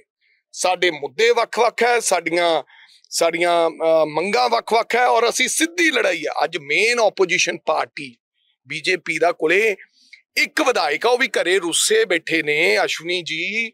ਉਹ ਬੀਜੇਪੀ ਦੇ ਨਾਲ ਕਿਉਂਕਿ ਅੱਜ ਦਾ ਜਿਹੜਾ ਪ੍ਰਧਾਨ ਸਾਹਿਬ ਆਏ ਨੇ ਆਦਰਨੀय ਜਾਖੜ ਸਾਹਿਬ ਉਹ ਕਾਂਗਰਸ ਚੋਂ ਗਏ ਨੇ। ਸੋ ਇਸ ਕਰਕੇ ਸਾਡਾ ਅਲਾਈਅੰਸ ਇੰਡੀਆ ਅੱਪਰ ਲੈਵਲ ਤੇ ਹੈ। ਸਾਡੇ ਨਾਲ ਕਿਸੇ ਦਾ ਕੋਈ ਅਲਾਈਅੰਸ ਦੀ ਗੱਲ ਕਿਸੇ ਪ੍ਰਕਾਰ ਦੀ ਕੋਈ ਚਰਚਾ ਕਿਸੇ ਪ੍ਰਕਾਰ ਦਾ ਕੋਈ ਸਵਾਲ ਕੋਈ ਚਰਚਾ ਹੀ ਨਹੀਂ। ਔਰ ਆਉਣ ਤੁਹਾਨੂੰ ਲੱਗਦਾ ਇਹ ਮੀਡੀਆ ਨੇ ਚਲਾਤਾ ਸੀਟ ਸ਼ੇਅਰਿੰਗ ਇਹਦੇ ਜਿਹੜਾ ਬੰਦਾ ਇਹ ਕਹਿੰਦਾ ਵੀ ਸੀਟ ਸ਼ੇਅਰਿੰਗ ਹੋ ਗਈ ਹੈ ਉਹਨੂੰ ਪੁੱਛ ਕੇ ਆਓ ਵੀ ਤੁਸੀਂ ਕਿਹਨੂੰ ਸੋਨੀਆ ਜੀ ਨੂੰ ਖਰਗੇ ਸਾਹਿਬ ਨੂੰ ਜਾਂ ਕੇਜਰੀਵਾਲ ਜੀ ਨੂੰ ਤੁਸੀਂ ਮਿਲਿਆ ਹੋ? ਕਿਸੇ ਪ੍ਰਕਾਰ ਦੀ, ਕਿਸੇ ਪਾਰਟੀ ਦੀ ਸੀਟ ਸ਼ੇਅਰਿੰਗ ਦੀ ਗੱਲ ਨਹੀਂ ਹੋਈ। ਔਰ ਮੈਂ 100% ਸ਼ੋਰ ਹਾਂ ਕਿ ਅਸੀਂ ਪੰਜਾਬ ਦੇ ਵਿੱਚ ਨਾਟ ਓਨਲੀ ਪੰਜਾਬ, ਕਈ ਰਾਜਾਂ ਦੇ ਵਿੱਚ ਉਹ ਜਿਹੜੀਆਂ ਪਾਰਟੀ ਲਾਈਕ ਮਾਈਂਡਡ ਉੱਥੇ ਇਕੱਠੀਆਂ ਹੋਈਆਂ ਸੀ, ਲੇਕਿਨ ਉਹ ਅੱਡ-ਅੱਡ ਆਪਦੇ ਮੁੱਦਿਆਂ ਤੇ, ਅੱਡ-ਅੱਡ ਥਾਵਾਂ ਤੇ ਚੁਣਾਵ ਲੜਨਗੀਆਂ ਸਾਡਾ ਕਿਸੇ ਨਾ ਕਿਸੇ ਪ੍ਰਕਾਰ ਦਾ ਕੋਈ ਅਲਾਈਅੰਸ ਦੀ ਗੱਲ ਨਹੀਂ ਹੈ। ਇਹ ਵਾਰ-ਵਾਰ ਚਰਚਾ, ਔਰ ਮੇਰੀ ਬੇਨਤੀ ਹੈ ਬੀਜੇਪੀ ਵਾਲੇ ਆਪਦੀ ਗੱਲ ਕਰਨ, ਕਿਉਂਕਿ ਚਰਚਾ ਇਹ ਹੈ ਕਿ ਸਾਰੀ ਬੀਜੇਪੀ ਜਿਹੜੀ ਪੁਰਾਣੀ ਕਾਂਗਰਸ ਸੀ ਜਿਨ੍ਹਾਂ ਨੂੰ ਅਸੀਂ ਜਿਹੜੇ ਜਿਹੜੇ ਵਿਚਾਰਿਆਂ ਨੂੰ ਇਗਨੋਰ ਹੋ ਗਏ, ਜਿਨ੍ਹਾਂ ਨੂੰ ਲਾਤਾ ਦਿੱਤਾ ਗਿਆ ਸੀ, ਉਹ ਉਧਰ ਚਲੇ ਗਏ। ਅੱਜ ਬੀਜੇਪੀ ਵਾਲੇ ਮਹਿਸੂਸ ਕਰ ਰਹੇ ਆ ਕਿ ਗਵਰਨਰ ਨੂੰ ਕਿੱਥੇ ਜਾਂਦੇ ਆ ਜਾਂ ਹੜ ਪੀੜਤਾਂ ਕੋਲੇ ਜਾਂਦੇ ਆ ਪ੍ਰਧਾਨ, ਤਾਂ ਸਾਰੀ ਕਾਂਗਰਸ ਹੀ ਪੁਰਾਣੀ ਨਜ਼ਰ ਆਉਂਦੀ ਹੈ। ਅੱਜ ਜਿਹੜਾ ਬੀਜੇਪੀ ਦਾ ਜਿਹੜਾ ਅਸਲੀ ਕੇਡਰ ਸੀ, ਜਿਨ੍ਹਾਂ ਨੇ ਇੱਕ ਇੱਕ ਬੰਦੇ ਤੋਂ ਦੂਜਾ ਦੂਜਾ ਬੰਦਾ ਜੋੜਿਆ ਸੀ, ਉਹ ਸਾਰੇ ਨਿਰਾਸ਼ ਬੈਠੇ ਹੈ। ਅੰਦਰ ਹੀ ਅੰਦਰ ਬਹੁਤ ਵੱਡਾ ਵਿਰੋਧ ਹੋ ਰਿਹਾ ਹੈ। ਔਰ ਖਾਸ ਕਰਕੇ ਅੰਦਰ ਬੀਜੇਪੀ ਦੇ ਵੀ ਹੈਗਾ ਦਲਿਤ ਭਾਈਚਾਰੇ 'ਚ ਬਹੁਤ ਵੱਡਾ ਵਿਰੋਧ ਹੈ ਬੀਜੇਪੀ ਦਾ। ਔਰ ਮੈਂ ਉਹਨਾਂ ਨੂੰ ਇਹ ਸਵਾਲ ਪੁੱਛਦਾ ਹੈ, ਕਿਰਪਾ ਕਰਕੇ ਜਾਖੜ ਸਾਹਿਬ ਇਹ ਗੱਲ ਕਲੈਰਿਟੀ ਲੈ ਕੇ ਆਉਣ, ਇਹ ਦੱਸਣ ਕਿ ਅਲਾਈਅੰਸ ਪੱਕਾ ਅਕਾਲੀ ਦਲ ਨਾਲ ਤੁਹਾਡੇ ਗੱਲ ਮੁੱਕ ਚੁੱਕੀ ਹੈ ਕਿ ਅਜੇ ਬਾਕੀ ਹੈ? ਜਿਹੜੀ ਸਾਡੇ ਕੋਲੇ ਖਬਰਾਂ ਦੇ ਮੁਤਾਬਕ ਤਾਂ ਮੁੱਕ ਚੁੱਕੀ ਹੈ ਕਿ ਪੰਜ ਸੀਟਾਂ ਬੀਜੇਪੀ ਲੜੇਗੀ। ਅਮਰਿੰਦਰ ਸਿੰਘ, ਰਾਜਾ ਵੜਿੰਗ ਦੀ ਤੁਸੀਂ ਗੱਲਬਾਤ ਸੁਣੀ ਹੈ। ਪ੍ਰਾਈਮ ਮਿਨਿਸਟਰ ਟੀਵੀ ਦੇ ਪੇਜ ਤੇ ਪੂਰੀ ਗੱਲਬਾਤ ਹੈਗੀ ਹੈ, ਕਿਉਂਕਿ ਸਮਾਂ ਹੋਰ ਇਜਾਜ਼ਤ ਨਹੀਂ ਦਿੰਦਾ। ਚਰਚਾ ਕੀਤੀ ਇਹਨਾਂ ਸਾਰੀਆਂ ਖਬਰਾਂ ਤੇ ਪੰਜਾਬ ਦੇ ਵਿੱਚ ਜੋ ਵੀ ਇਸ ਵੇਲੇ ਸਿਆਸੀ ਹਾਲਾਤ ਨੇ, ਕਿਉਂਕਿ ਰਾਜਾ ਵੜਿੰਗ ਹੋਰਾਂ ਨੇ ਇੱਕ ਗੱਲ ਸਪਸ਼ਟ ਕਰ ਦਿੱਤੀ ਹੈ ਕਿ ਜਾਖੜ ਸਾਹਿਬ ਜੋ ਕੁਝ ਕਹਿੰਦੇ ਆ ਕਹਿਣ, ਕੋਈ ਫ਼ਰਕ ਨਹੀਂ ਪੈਣ ਵਾਲਾ। ਕਾਂਗਰਸ ਚੋਂ ਹੀ ਗਏ ਹੈ, ਪਰ ਇੰਨਾ ਜ਼ਰੂਰ ਹੈ ਕਿ ਮਾਫੀ ਮੰਗਣ ਲਈ ਤਿਆਰ ਰਹਿਣ। ਇਹ ਮਾਫੀ ਕਿਉਂ ਮੰਗਣ ਦੀ ਉਹਨਾਂ ਨੇ ਗੱਲ ਕੀਤੀ ਹੈ? ਸ਼ਾਇਦ ਇਸੇ ਕਰਕੇ ਕਿ ਜਿਹੜੀ ਗੱਲ ਨੂੰ ਲੈ ਕੇ ਜਾਖੜ ਸਾਹਿਬ ਦਾਵਾ ਕਰਦੇ ਪਏ ਹੈ, ਉਹ ਦਾਵਾ ਪੂਰਾ ਨਾ ਹੋਵੇ। ਪ੍ਰੋਗਰਾਮ ਇੱਥੇ ਸਮਾਪਤ ਕਰਨ ਦਾ ਵੇਲਾ ਆ ਗਿਆ। ਉਮੀਦ ਕਰਦੇ ਹਾਂ ਪ੍ਰੋਗਰਾਮ ਤੁਹਾਨੂੰ ਜਰੂਰ ਪਸੰਦ ਆਇਆ ਹੋਣਾ। ਜੇਕਰ ਤੁਹਾਡਾ ਕੋਈ ਸੁਝਾਅ ਤੇ ਟਿੱਪਣੀ ਜਰੂਰ ਕਰਿਓ। ਪ੍ਰੋਗਰਾਮ ਸਮਾਪਤ ਕਰਦੇ ਮੈਨੂੰ ਨਵਜੀਤ ਨੂੰ ਦਿਓ ਇਜਾਜ਼ਤ। ਦੇਖਦੇ ਰਹੋ ਪ੍ਰਾਈਮ ਮਿਸ਼ਨ ਟੀਵੀ ਤੁਹਾਡਾ ਆਪਣਾ, ਤੁਹਾਡੇ ਲਈ।